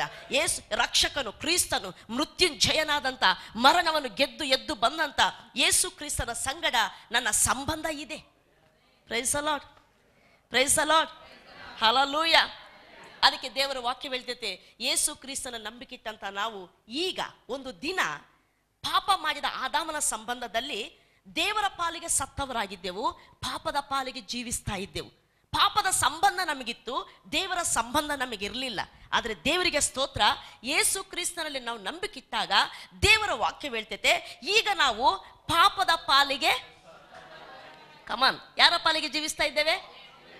ದೇವರ ಪಾಲಿಗೆ ಕಮಾನ್ ಪಾಪದ ಪಾಲಿಗೆ, ದೇವರ ಪಾಲಿಗೆ ಜೀವ, ಇದರ ಅರ್ಥ ಏನು? ಪಾಪದ ಪಾಪದ ಪಾಲಿಗೆ ಸತ್ತವರಂದ್ರೆ ಪಾಪದ ಸಂಗಡ ಸಂಬಂಧ ಇಲ್ಲದವರು. ಕಮಾನ್ ಯಾವ ಯಾವ ಸಂಗಡ ಸಂಬಂಧ ಇಲ್ಲ ನಮಗೆ? ಪಾಪದ ಸಂಗಡ ಸಂಬಂಧ ಇಲ್ಲ ಅಂದ್ರೆ ಪಾಪ ತುಂಬಿರುವಂತ ಲೋಕದ ಸಂಗಡಲು ಸಂಬಂಧ ಇಲ್ಲ. ಲೋಕಕ್ಕೆ ಏನು ಸಂಭವಿಸ್ತೇತೋ ಅದರ ಕುರಿತು ಭಯಪಡಬೇಕಾದಂತ ಅಗತ್ಯವೂ ನಮಗಿಲ್ಲ. ಪ್ರೈಸ್ ಅಲಾಡ್ ಪಾಪದ ಸಂಗಡ ನಮಗೆ ಸಂಬಂಧವಿಲ್ಲ. ಅದರ ಒಡೆಯನಾದಂತ ಸೈತಾನನ ಸಂಗಡಲೂ ಸಂಬಂಧವಿಲ್ಲ. ಪಾಪದ ಪರಿಣಾಮವಾದಂತ ಮರಣದ ಸಂಗಡಲೂ ನಮಗೆ ಸಂಬಂಧವಿಲ್ಲ. ಪ್ರೈಸ್ ಅಲಾಡ್ ದೇವರ ವಾಕ್ಯ ಹೇಳ್ತೈತೆ, ಪಾಪದ ಪಾಲಿಗೆ ನಾವು ಸತ್ತವರು, ಅಂದ್ರೆ ಅದರ ಸಂಬಂಧಕ್ಕೆ ಬಿಡುಗಡೆ ಹೊಂದಿದವರು ದೇವರ ಪಾಲಿಗೆ ಜೀವಿಸುವವರು. ಅಂದ್ರೆ ಅರ್ಥನ ದೇವರ ಪಾಲಿಗೆ ಜೀವಿಸ್ತಿದ್ದೀರಂದ್ರೆ ದೇವರಿಗೂ ನಿಮಗೆ ಅಡ್ಡಗೋಡಿ ಇಲ್ಲ. ನೀವು ಸಂಬಂಧಿಕರಾಗಿದ್ರಿ ಆತನ ಸಂಬಂಧದಲ್ಲಿ, ಆತನ ಅನ್ಯೋನ್ಯತೆಯಲ್ಲಿ ನಾವು ಇದ್ದವರು ಆಗಿದ್ದೇವೆ ಎಂಬುದಾಗಿ. ಪ್ರೈಸ್ ಅಲಾಟ್ ಹಲಲೂಯ ಅದಕ್ಕೆ ಈ ಲೋಕದಲ್ಲಿ ಯಾರು ಭಾಗ್ಯವಂತರು? ಯಾರು ಶ್ರೇಷ್ಠರಾದಂಥ ವ್ಯಕ್ತಿಗಳು? ಯಾರು ಧನ್ಯವಾದಂಥ ವ್ಯಕ್ತಿಗಳು? ಲೋಕ ಹೇಳ್ತೈತೆ ಹಣ, ಐಶ್ವರ್ಯ, ಪದವಿ ಅದು ಇದು ಇದ್ದವರೆಂಬುದಾಗಿ. ನಾನು ಹೇಳ್ತೇನೆ, ಅದು ಧನ್ಯತೆಯನ್ನು ತರೋದಿಲ್ಲ. ಕ್ರಿಸ್ತ ನಂ ಕ್ರಿಸ್ತನ, ಯೇಸು ಕ್ರಿಸ್ತನಲ್ಲಿ ನಂಬಿಕಿಡುವಾಗ ದೇವರ ಅನ್ಯೋನ್ಯತೆ ನಮ್ಮನ್ನು ಧನ್ಯರನ್ನಾಗಿ ಮಾಡ್ತೈತೆ. ಯಾರು ಧನ್ಯರಾಗಿದ್ದಾರೋ ಅವರನ್ನು ಶುಭವು ಹಿಂಬಾಲಿಸುವಂಥದ್ದಾಗಿರ್ತೈತೆ ಪ್ರೈಸ್ ಹಲಲೂಯ. ಅದಕ್ಕೆ ಈ ಲೋಕದಲ್ಲಿ ಐಶ್ವರ್ಯವಂತರನ್ನು ಅಥವಾ ಬೇರೆ ಏನೋ ಇದ್ದವರನ್ನು ನೋಡಿ ಅವರು ನನಗಿಂತ ಧನ್ಯರಂತ ಯಾವತ್ತೂ ಎಣಿಸಬೇಡ್ರಿ. ಯಾಕಂದ್ರೆ ದೇವರ ವಾಕ್ಯ ಹೇಳ್ತೈತೆ, ಕ್ರಿಸ್ತನಲ್ಲಿ ನಂಬಿಕಿಟ್ಟವನೇ ಧನ್ಯನು. ಏಸು ಕ್ರಿಸ್ತನಲ್ಲಿ ನಂಬಿಕಿಟ್ಟವನೇ ಭಾಗ್ಯವಂತನು. ಯಾಕೆಂದ್ರೆ ಅವನಿಗೆ ದೇವರ ಸಂಗಡ ಅನ್ಯೋನ್ಯತೆ ಇದೆ. ನಾನು ಯಾಕೆ ಹೇಳ್ತಿದ್ದೇನೆ, ಐಶ್ವರ್ಯವಂತನು ಧನ್ಯನಲ್ಲ ಎಂಬುದಾಗಂದ್ರೆ, ಐಶ್ವರ್ಯವಂತನಾಗಿದ್ರು ಅವನಿಗೆ ಭಯ ಇರ್ತೈತೆ. ನಾಳೆ ಏನಾಗ್ತೈತೆ ಎಂಬ ಚಿಂತೆ ಇರ್ತೈತೆ. ಇದು ಇರ್ತೈತೋ ಇಲ್ವೋ ಕಳ್ಕೊಳ್ತೇನೆ ಎಂಬ ಒಂದು ಆತಂಕ ಇರ್ತೈತೆ. ಆದರೆ ದೇವರಿಗೆ ಸ್ತೋತ್ರ, ಕ್ರಿಸ್ತನಲ್ಲಿ ನಂಬಿಕಿಟ್ಟವನಿಗೆ ಯಾವ ಭಯವು ನಮ್ಗೆ ಇರುವುದೇ ಇಲ್ಲ Lord. ಯಾಕೆಂದ್ರೆ ನಮಗೆ ಅನ್ಯೋನ್ಯತೆ ಇದೆ. ಅದು ಈ ಲೋಕದ ಸಂಗಡಲ್ಲ, ತಂದೆಯಾದ ದೇವರ the Lord. ಹಲಲೂಯ ಹಲಲೂಯ ಆದರೆ ಪ್ರಿಯ ದೇವರ ಮಕ್ಕಳೇ, ನಾವು ಕ್ರಿಸ್ತನಲ್ಲಿ ನಂಬಿಕಿಟ್ಟಂತ ನಾವು ಪಾಪದ ಪಾಲಿಗೆ ಸತ್ತವರು, ದೇವರ ಪಾಲಿಗೆ ಜೀವಿಸುವವರು ನಾವಾಗಿದ್ದೇವೆ. ಅದಕ್ಕೆ ದೇವರ ವಾಕ್ಯ ಹೇಳ್ತೈತೆ, ನಮ್ಮನ್ನು ದೈವ ಜನರು ಎಂಬುದಾಗಿ. ದೆ- ಯೇಸು ಹೇಳ್ತಾನೆ, ನಾನು ಈ ಲೋಕದವನು ಅಲ್ಲದೆ ಇರುವ ಪ್ರಕಾರ ಇವರು ಸಹ ಈ ಲೋಕದವರು ಅಲ್ಲ. ಹೌದಲ್ವಾ? ವಾಕ್ಯ ಹೇಳ್ತೈತೆ ಇಲ್ವಾ? ಪ್ರೈಸಲ ಅಂದ್ರೆ ಯೇಸು ಸ್ವಾಮಿ ಲೋಕ, ಈ ಲೋಕದಲ್ಲಿ ಇದ್ದ ಬಟ್ ಆತನು ಈ ಲೋಕದವನಲ್ಲ. ಆತನು ಪರಲೋಕದವನೇ. ದೇವರ ಸಂಬಂಧದಲ್ಲಿರುವವನೇ, ಆತನಿಗೆ ಬೇಕಾದಂತ ಎಲ್ಲಾ ಸಪ್ಲೈ ದೇವರಿಂದಲೇ ಬರುವಂತದಾಗಿತ್ತು ಎಲ್ಲಾ ಸಾಮರ್ಥ್ಯತೆ ದೇವರಿಂದಲೇ ಬರುವಂತದಾಗಿತ್ತು ದೇವರು ಯಾವಾಗಲೂ ಆತನ ಸಹಾಯಕ್ಕೆ ಇರುವಂತ ಆತನಾಗಿದ್ದ ಆತನ ಈ ಲೋಕದಲ್ಲಿದ್ದ ಒಂದು ಮಾತನ್ನು ಹೇಳ್ತಾನೆ. ದೇವರು ನನ್ನನ್ನು ಒಬ್ಬಂಟಿಗನಾಗಿ ಎಂದಿಗೂ ಬಿಡುವುದೇ ಇಲ್ಲ. ಆತನು ಯಾವಾಗಲೂ ನನ್ನ ಸಂಗಡಲೇ ಇದ್ದಾನೆ. ಆತನು ಯಾವ ಮನುಷ್ಯರಿಗೂ ಆತನು ಭಯಪಡಲಿಲ್ಲ, ಯಾವ ಪರಿಸ್ಥಿತಿಗಳಿಗೂ ಭಯಪಡಲಿಲ್ಲ, ಯಾವ ಅಧಿಕಾರಿಗಳಿಗೂ ಆತನು ಭಯಪಡಲಿಲ್ಲ. ಕಾರಣವೇನಂದ್ರೆ ಆತನು ಗೊತ್ತಿತ್ತು, ನನ್ನ ಸಂಗಡ ದೇವರು ಇದ್ದಾನೆ. ಆತನು ಎಂದಿಗೂ ಸಹ ನನ್ನನ್ನು ಒಬ್ಬಂಟಿಗನಾಗಿ ಬಿಡುವುದೇ ಇಲ್ಲ. ಪ್ರಿಯ ದೇವರ ಮಕ್ಕಳೇ ನಮಗಿರುವ ಧೈರ್ಯವೇನೆಂದರೆ ಕ್ರಿಸ್ತನಲ್ಲಿ ನಂಬಿಕೆ ಇಟ್ಟದರಿಂದ ನಮಗೆ ದೇವರ ಸಂಗಡ ಅನ್ಯೋನ್ಯತೆ ಇದೆ, ದೇವರ ಮಕ್ಕಳು ನಾವಾಗಿದ್ದೇವೆ, ದೇವರ ಸಂಬಂಧವು ನಮಗಿದೆ. ಆದ್ದರಿಂದ ಭಯಪಡಬೇಕಾದಂಥ ಅಗತ್ಯವೇ ಇಲ್ಲ. ಯಾಕಂದ್ರೆ ನಾವು ಅನಾಥರಲ್ಲ, ದಿಕ್ಕಿಲ್ಲದವರಲ್ಲ, ದೊಡ್ಡ ದೇವರು ನಮ್ಮ ಪಕ್ಷದಲ್ಲಿದ್ದಾನೆ. ಅದಕ್ಕೆ ದೇವರ ವಾಕ್ಯ ಹೇಳ್ತೈತೆ, ದೇವರೇ, ನಮ್ಮ ಪಕ್ಷದಲ್ಲಿರುವಾಗ ನಮ್ಮನ್ನು ಎದುರಿಸುವವರು ಯಾರು? Hallelujah hallelujah. ಇವತ್ತು ಮದುವೆ ಆಗ್ತಿರುವಂಥ ದಂಪತಿಗಳಿಗೆ ಸಹ ದೇವರ ಆತ್ಮನಿಂದ ನಾನು ಹೇಳುವಂಥ ಸಂಗತಿ ಏನಂದ್ರೆ, ನಮ್ಮ ಜೀವಿತ ಹೇಗೆ ಅನ್ನುವಂಥ ಕ್ವಶನ್ಗೆ ಒಂದೇ ಸಂಗತಿ, ನಮ್ಮ ಸಂಗಡ ದೇವರು ಇರುವುದು ನಿಶ್ಚಯ. ಅದಕ್ಕೆ ದಾವಿದನ್ ಹೇಳ್ತಾನೆ, ದೇವರು ನನ್ನ ಸಂಗಡ ಇರುವುದು ನಿಶ್ಚಯ. ನಾನು ಮೊರೆಯಿಡುವಾಗಲೇ ನನ್ನ ಶತ್ರುಗಳು ಪಕ್ಕನೆ ಪಲಾಯನ ಗೈಯುವರು. ಪ್ರೈಸ್ ಲಾರ್ಡ್ ಅಂದ್ರೆ ಅರ್ಥ ಏನಂದ್ರೆ ದೇವರು ನಮ್ಮ ಸಂಗಡ ಇದ್ದಾನೆ. ಯಾವ ಸಂಬಂಧವಾಗಿ ಚಿಂತೆ ಮಾಡಬೇಡ್ರಿ ಯಾವ ಸಂಗತಿ ಕುರಿತು ಭಯಪಡಬೇಡ್ರಿ ಯಾವ ಸಂಗತಿ ಕುರಿತು ನೀವು ಆತಂಕ ಪಡಬೇಡ್ರಿ ಯಾವ ಸಂಗತಿಗಳ ಕುರಿತು ನೀವು ದಿಗುಲು ಪಡಬೇಡ್ರಿ ಕಾರಣವೇನಂದ್ರೆ ದೇವರು ನನ್ನ ಸಂಗಡ ಇರುವುದರಿಂದ ಯಾವಾಗಾದ್ರೆ ನನ್ನ ದೇವರು ನನ್ನ ಹತ್ರ ಇದ್ದಾನೆ ಎಂಬುದಾಗಿ ಆ ಅರಿವಿನಲ್ಲಿ ನೀನು ಇರ್ತೀಯೋ ಖಂಡಿತವಾಗಿ ನಿನ್ನ ಶತ್ರುಗಳು ನಿನ್ನ ಮುಂದೆ ನಿಲ್ಲುವುದೇ ಇಲ್ಲ, ನಿನ್ನ ಸಮಸ್ಯೆಗಳು ನಿನ್ನ ಮುಂದೆ ನಿಲ್ಲುವುದೇ ಇಲ್ಲ. ದೇವರ ವಾಕ್ಯ ಹೇಳ್ತೈತೆ ಹೇಗೆ ಪಲಾಯನ ಗೈತಾರಂತೆ? ಪಕ್ಕನೆ ಕಮಾನ್ ಪಕ್ಕನೆ ಎಲ್ಲರೂ ಹೇಳೋಣ? ಇವತ್ತೇನು ಸಮಸ್ಯೆಗಳನ್ನ ನೀವು ನೋಡ್ತಾ ಇದ್ದೀರಾ? ಏನು ಕೊರತೆಗಳನ್ನು ನೀವು ಅನುಭವಿಸ್ತಾ ಇದ್ದೀರಾ? ಏನು ಕಷ್ಟಗಳು ನಿಮ್ಮ ಜೀವಿತದಲ್ಲಿ ಇದ್ದಾವೆ ಅಥವಾ ಯಾವ ಭಯಗಳು, ಯಾವ ಬೆದರಿಕೆಗಳು ನಮ್ಮ ಜೀವಿತದಲ್ಲಿ ಇದ್ದಾವೆ ನೀನು ಅದಕ್ಕೆ ಅದನ್ನು ನೋಡಬೇಕಾದ ದೃಷ್ಟಿಕೋನ ಹೇಗಂದ್ರೆ, ಇದು ಪಕ್ಕನೆ ಫಲಾಯನ ಗೈಯುತ್ತದೆ. ಯಾಕಂದ್ರೆ ದೇವರು ನನ್ನ ಸಂಗಡ ಇದ್ದಾನೆ. ಯಹೋಶುವನಿಗೆ ದೇವರು ಹೇಳಿದ ಮೋಶೆ ಸಂಗಡ ಇದ್ದ ಹಾಗೆ ನಾನು ನಿನ್ನ ಸಂಗಡಲು ಇದ್ದೇನೆ. ಅದಕ್ಕೆ ನಿನ್ನ ಜೀವಮಾನವೆಲ್ಲ ಒಬ್ಬನು ನಿನ್ನ ಮುಂದೆ ನಿಲ್ಲುವುದೇ ಇಲ್ಲ. ನಾನು ಹೇಳ್ತೇನೆ, ಇವತ್ತಿರುವಂತಹ ಸಮಸ್ಯೆಗಳಿಗೂ ನೀನು ಭಯಪಡಬೇಡ. ನಾಳೆ ಏನಾಗ್ತೈತೆ ಅಂತ ಲೋಕ ಎಲ್ಲ ಎದುರು ನೋಡ್ತೈತಲ್ಲ? ಏನೋ ದೊಡ್ಡ ಖೇಡು ಬರ್ತೈತೆ ಲೋಕಕ್ಕೆ, ದೊಡ್ಡ ಕಷ್ಟಗಳು ಬರ್ತಾವೆ, ಇನ್ನು ಹಣದುಬ್ಬರ ಬರ್ತೈತೆ, ಇನ್ನು ಬರಗಾಲಗಳು ಬರ್ತಾವೆ ಇನ್ನು ಖೇಡುಗಳು ಭೂಕಂಪಗಳು, ಪ್ರವಾಹಗಳು ಏನೆಲ್ಲ ಬರ್ತಾವೆ ಎಂಬುದಾಗಿ ಎದುರು ನೋಡ್ತಾ ಇದೆ. ಅದಕ್ಕೆ ಸಹ ನಾವು ಭಯಪಡಬೇಕಾದ ಅಗತ್ಯತೆ ಇಲ್ಲ. ಯಾಕಂದ್ರೆ ನಮಗಿರುವ ಅನ್ಯೋನ್ಯತೆಯು ದೇವರ ಸಂಗಡ. ನಮ್ಮ ಸಂಬಂಧ ದೇವರ ಸಂಗಡ ಇದೆ. ಅದಕ್ಕೆ ನಮಗೆ ಖೇಡುಗಳು ನಮ್ಮನ್ನು ಮುಟ್ಟುವುದೇ ಇಲ್ಲ. ಯಾಕಂದ್ರೆ ದೇವರು ನಮ್ಮ ಸಂಗಡ ಇದ್ದಾನೆ ಪ್ರಿಯ ಪ್ರೈಸ್ ಅಲಾಟ್ ಹೇಳೋಣ ದೇವರು ನನ್ನ ಸಂಗಡ ಇರುವುದು ನಿಶ್ಚಯ. ನಾನು ಮೊರೆ ಇಡುವಾಗಲೇ ನಾನು ಮೊರೆ ಇಡುವಾಗಲೇ ನನ್ನ ಶತ್ರುಗಳು ಪಕ್ಕನೆ ಫಲಾಯನಗೈತಾರೆ ಕಷ್ಟಗಳು ನೋಡಿ ಎದುರಬೇಕಾದ ಅಗತ್ಯತೆ ಇಲ್ಲ ನೀನು ಅದನ್ನು ನೋಡಿ ಹೇಳು. ನೀನು ಪಕ್ಕನೆ ಓಡಿ ಹೋಗುವಂಥದ್ದು. ಯಾಕಂದ್ರೆ ದೇವರು ನನ್ನ ಸಂಗಡ ಇದ್ದಾನೆ. ನನ್ನ ಸಂಗಡ ಇರುವ ಆತನು ಸಾಮಾನ್ಯನಲ್ಲ, ನನ್ನ ಸಂಗಡ ಇರುವ ಆತನು ಭೂಪರಲೋಕಗಳ ಒಡೆಯನು. ಹಲಲೂಯ ಹಲಲೂಯ ಎಲ್ಲರೂ ಹೇಳೋಣ, ದೇವರು ನನ್ನ ಸಂಗಡ ಇದ್ದಾನೆ. ನನ್ನ ಜೀವಮಾನವೆಲ್ಲ ಒಬ್ಬನು, ಒಂದು ಸಮಸ್ಯೆಯು ನನ್ನ ಮುಂದೆ ನಿಲ್ಲುವುದೇ ಇಲ್ಲ. ಅದಕ್ಕೆ ದೇವರ ವಾಕ್ಯ ಹೇಳ್ತೈತೆ, ನಿನ್ನನ್ನು ಎದುರಿಸಲು ಕಲ್ಪಿಸಿದ ಯಾವ ಆಯುಧವು ಜಯಿಸುವುದೇ ಇಲ್ಲ. ಜಯಿಸದ್ದು ಅಂದ್ರೆ ಅದು ಸ್ಟೇಟ್ಮೆಂಟ್ ಅಷ್ಟೇ. ಅದು ಡಿಕ್ಲರೇಷನ್ ಅದು ಸತ್ಯ, ಅದು ಹಾಗೆ ನೆರವೇರ್ತೈತೆ. ಯಾಕಂದ್ರೆ ನಮ್ಮನ್ನು ನೋಡಿ ನಾವು ಅಂದುಕೊಳ್ತೇವೆ ಏನಾದರೂ ಕೇಳಾಗ್ತೈತೆ ಎಂಬುದಾಗಿ. ಆದರೆ ನಿನ್ನ ಪಕ್ಷದಲ್ಲಿ, ನಿನ್ನ ಸಂಬಂಧದಲ್ಲಿ ನಿನಗೆ ಯಾರ ಹತ್ರ ಅನ್ಯೋನ್ಯತೆ ಆ ದೇವರ ನೀನೊಂದು ಸಾರಿ ನೋಡು, ಆತನನ್ನು ಬೀಳಿಸುವಂಥದ್ದು ಒಂದೂ ಇಲ್ಲ. ಹಾಗಾದರೆ ನಿನ್ನನ್ನು ಎದುರಿಸಲು ಕಲ್ಪಿಸಿದ ಆಯುಧವು ಎಂದೆಂದಿಗೂ ಸಹ ನಿನ್ನ ಜಯಿಸಲು ಸಾಧ್ಯನೇ ಇಲ್ಲ. Praise a lot praise a lot hallelujah hallelujah ಅದಕ್ಕೆ ನಾವು ಹೆಂಗಸರಾಗಿರ್ಲಿ, ಗಂಡಸರಾಗಿರ್ಲಿ, ನಾವು ಬಲಹೀನರಾಗಲಿ, ಬಲವಂತರಾಗಿರ್ಲಿ, ಈ ಲೋಕದಲ್ಲಿ ಶ್ರೀಮಂತರಾಗಿರ್ಲಿ, ಏನು ಇಲ್ಲದವರಾಗಿರ್ಲಿ, ಆದರೆ ಒಂದು ಸತ್ಯವನ್ನು ನೀನು ತಿಳಿದುಕೋ, ನಿನಗೆ ದೇವರ ಸಂಗಡ ಅನ್ಯೋನ್ಯತೆ ಇದೆ. ನೀನು ದೇವರ ಸಂಬಂಧದಲ್ಲಿ ನೀನಿದ್ದೀಯ ನಾವು ಅಂದುಕೊಳ್ತೇವೆ, ಈ ಲೋಕದಲ್ಲಿ ದೊಡ್ಡ ವ್ಯಕ್ತಿಗಳಿಗೆ ನಾವು ಹುಟ್ಟಿದರೆ ಎಷ್ಟು ಚೆನ್ನಾಗಿತ್ತು. ಹೋಗ್ಲಿ, ಅವ್ರನ್ನ ಮದುವೆ ಆದರೂ ಆಗಿದ್ರೆ ಚೆನ್ನಾಗಿತ್ತು. ಅದು ಸಹ ಹೋಗ್ಲಿ, ಅವ್ರ ಅಣ್ಣ, ತಮ್ಮನೋ, ಅಕ್ಕ, ಬಾವನೋ, ಏನೋ ಒಂದು ಆಗಿದ್ರೆ ಮಾಮನೋ, ಚಿಕ್ಕಪ್ಪನೋ ಆಗಿದ್ರೆ ಇನ್ನೂ ಚೆನ್ನಾಗಿತ್ತು. ಅದು ಸಹ ಆಗ್ಲಿಲ್ಲವೇ? ಏನ್ ಮಾಡೋದು? ನಮ್ಮ ಜೀವಿತ ಹೇಗೆ ಉದ್ಧಾರ ಆಗೋದು? ನಾವು ಹೇಗೆ ಉನ್ನತಿಗೆ ಬರೋದು? ನಮ್ಮ ಸಮಸ್ಯೆಗಳು ಹೇಗೆ ಪರಿಹಾರ ಆಗೋದು? ಕೆಲವರಿಗೆ ದೊಡ್ಡವರು ಸಂಬಂಧಕ್ಕೆ ಸಿಗ್ತಾರೆ. ಆದರೆ ದೇವರಿಗೆ ಸ್ತೋತ್ರ, ಅವರ ಸಂಬಂಧ ಆದರೂ ಅವರನ್ನು ಉದ್ಧರಿಸ್ತಿಲ್ಲ ಗೊತ್ತಿಲ್ಲವಾಗಲಿ, ನಮಗೆ ಒಂದು ಸಂಬಂಧ ಸಿಕ್ಕಿದೆ, ನಮಗೆ ಒಂದು ಅನ್ಯೋನ್ಯತೆ ಇದೆ. ಆ ದೇವರ ಸಂಬಂಧದಲ್ಲಿ ಉದ್ಧಾರ ಖಂಡಿತವಾಗಿ ಇದೆ. ಹಲಲೂಯ. ಒಂದು ವೇಳೆ ಪ್ರೈಮ್ ಮಿನಿಸ್ಟರ್ ಮದುವೆ ಆಗಿದ್ರು ಸಹ ಇಷ್ಟು ನಿರ್ಭಯವಾಗಿ ಭರವಸೆದಿಂದ ಇರ್ತಾ ಇರಲಿಲ್ಲವೇನು ದೇವರಿಗೆ ಸ್ತೋತ್ರ. ದೇವರ ಸಂಬಂಧದಲ್ಲಿ ಇರುವುದರಿಂದ ನಾಲಿನ ಕುರಿತು ಭಯವೇ ಇಲ್ಲ, ಕೇಡಿನ ಕುರಿತು ಚಿಂತೆನೇ ಇಲ್ಲ. ದಾವಿದನ್ ಹೇಳ್ತಾನೆ, ಕಾರ್ಗತ್ತಲಿನ ಕಣಿವೆಯಲ್ಲಿ ನಡೆಯುವಾಗಲು ನಾನು ಕೇಡಿಗೆ ನಾನು ಕೇಡಿಗೆ ಹೆದರೇನು. ಕಾರ್ಗತ್ತಲ ಕಣಿವೆಯಲ್ಲಿ ಇದ್ದೇನೆ ಓಕೆ. ಆದ್ರೆ ಕೇಡಿನ ಕುರಿತು ಭಯ ಇಲ್ಲ. ಇದು ರೀ ಆಶೀರ್ವಾದ. ಇದು ರೀ ಆಶೀರ್ವಾದ? ಇದು ಆಶೀರ್ವಾದ. ಪ್ರೈಸಲಾಟ್ ಯಾಕೆಂದ್ರೆ ದೇವರು ನಮ್ಮ ಸಂಗಡ ಇದ್ದಾನೆ.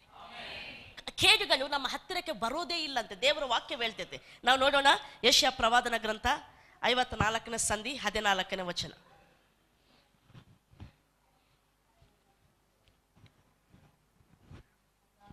ಹದಿನಾಲ್ಕರಿಂದ.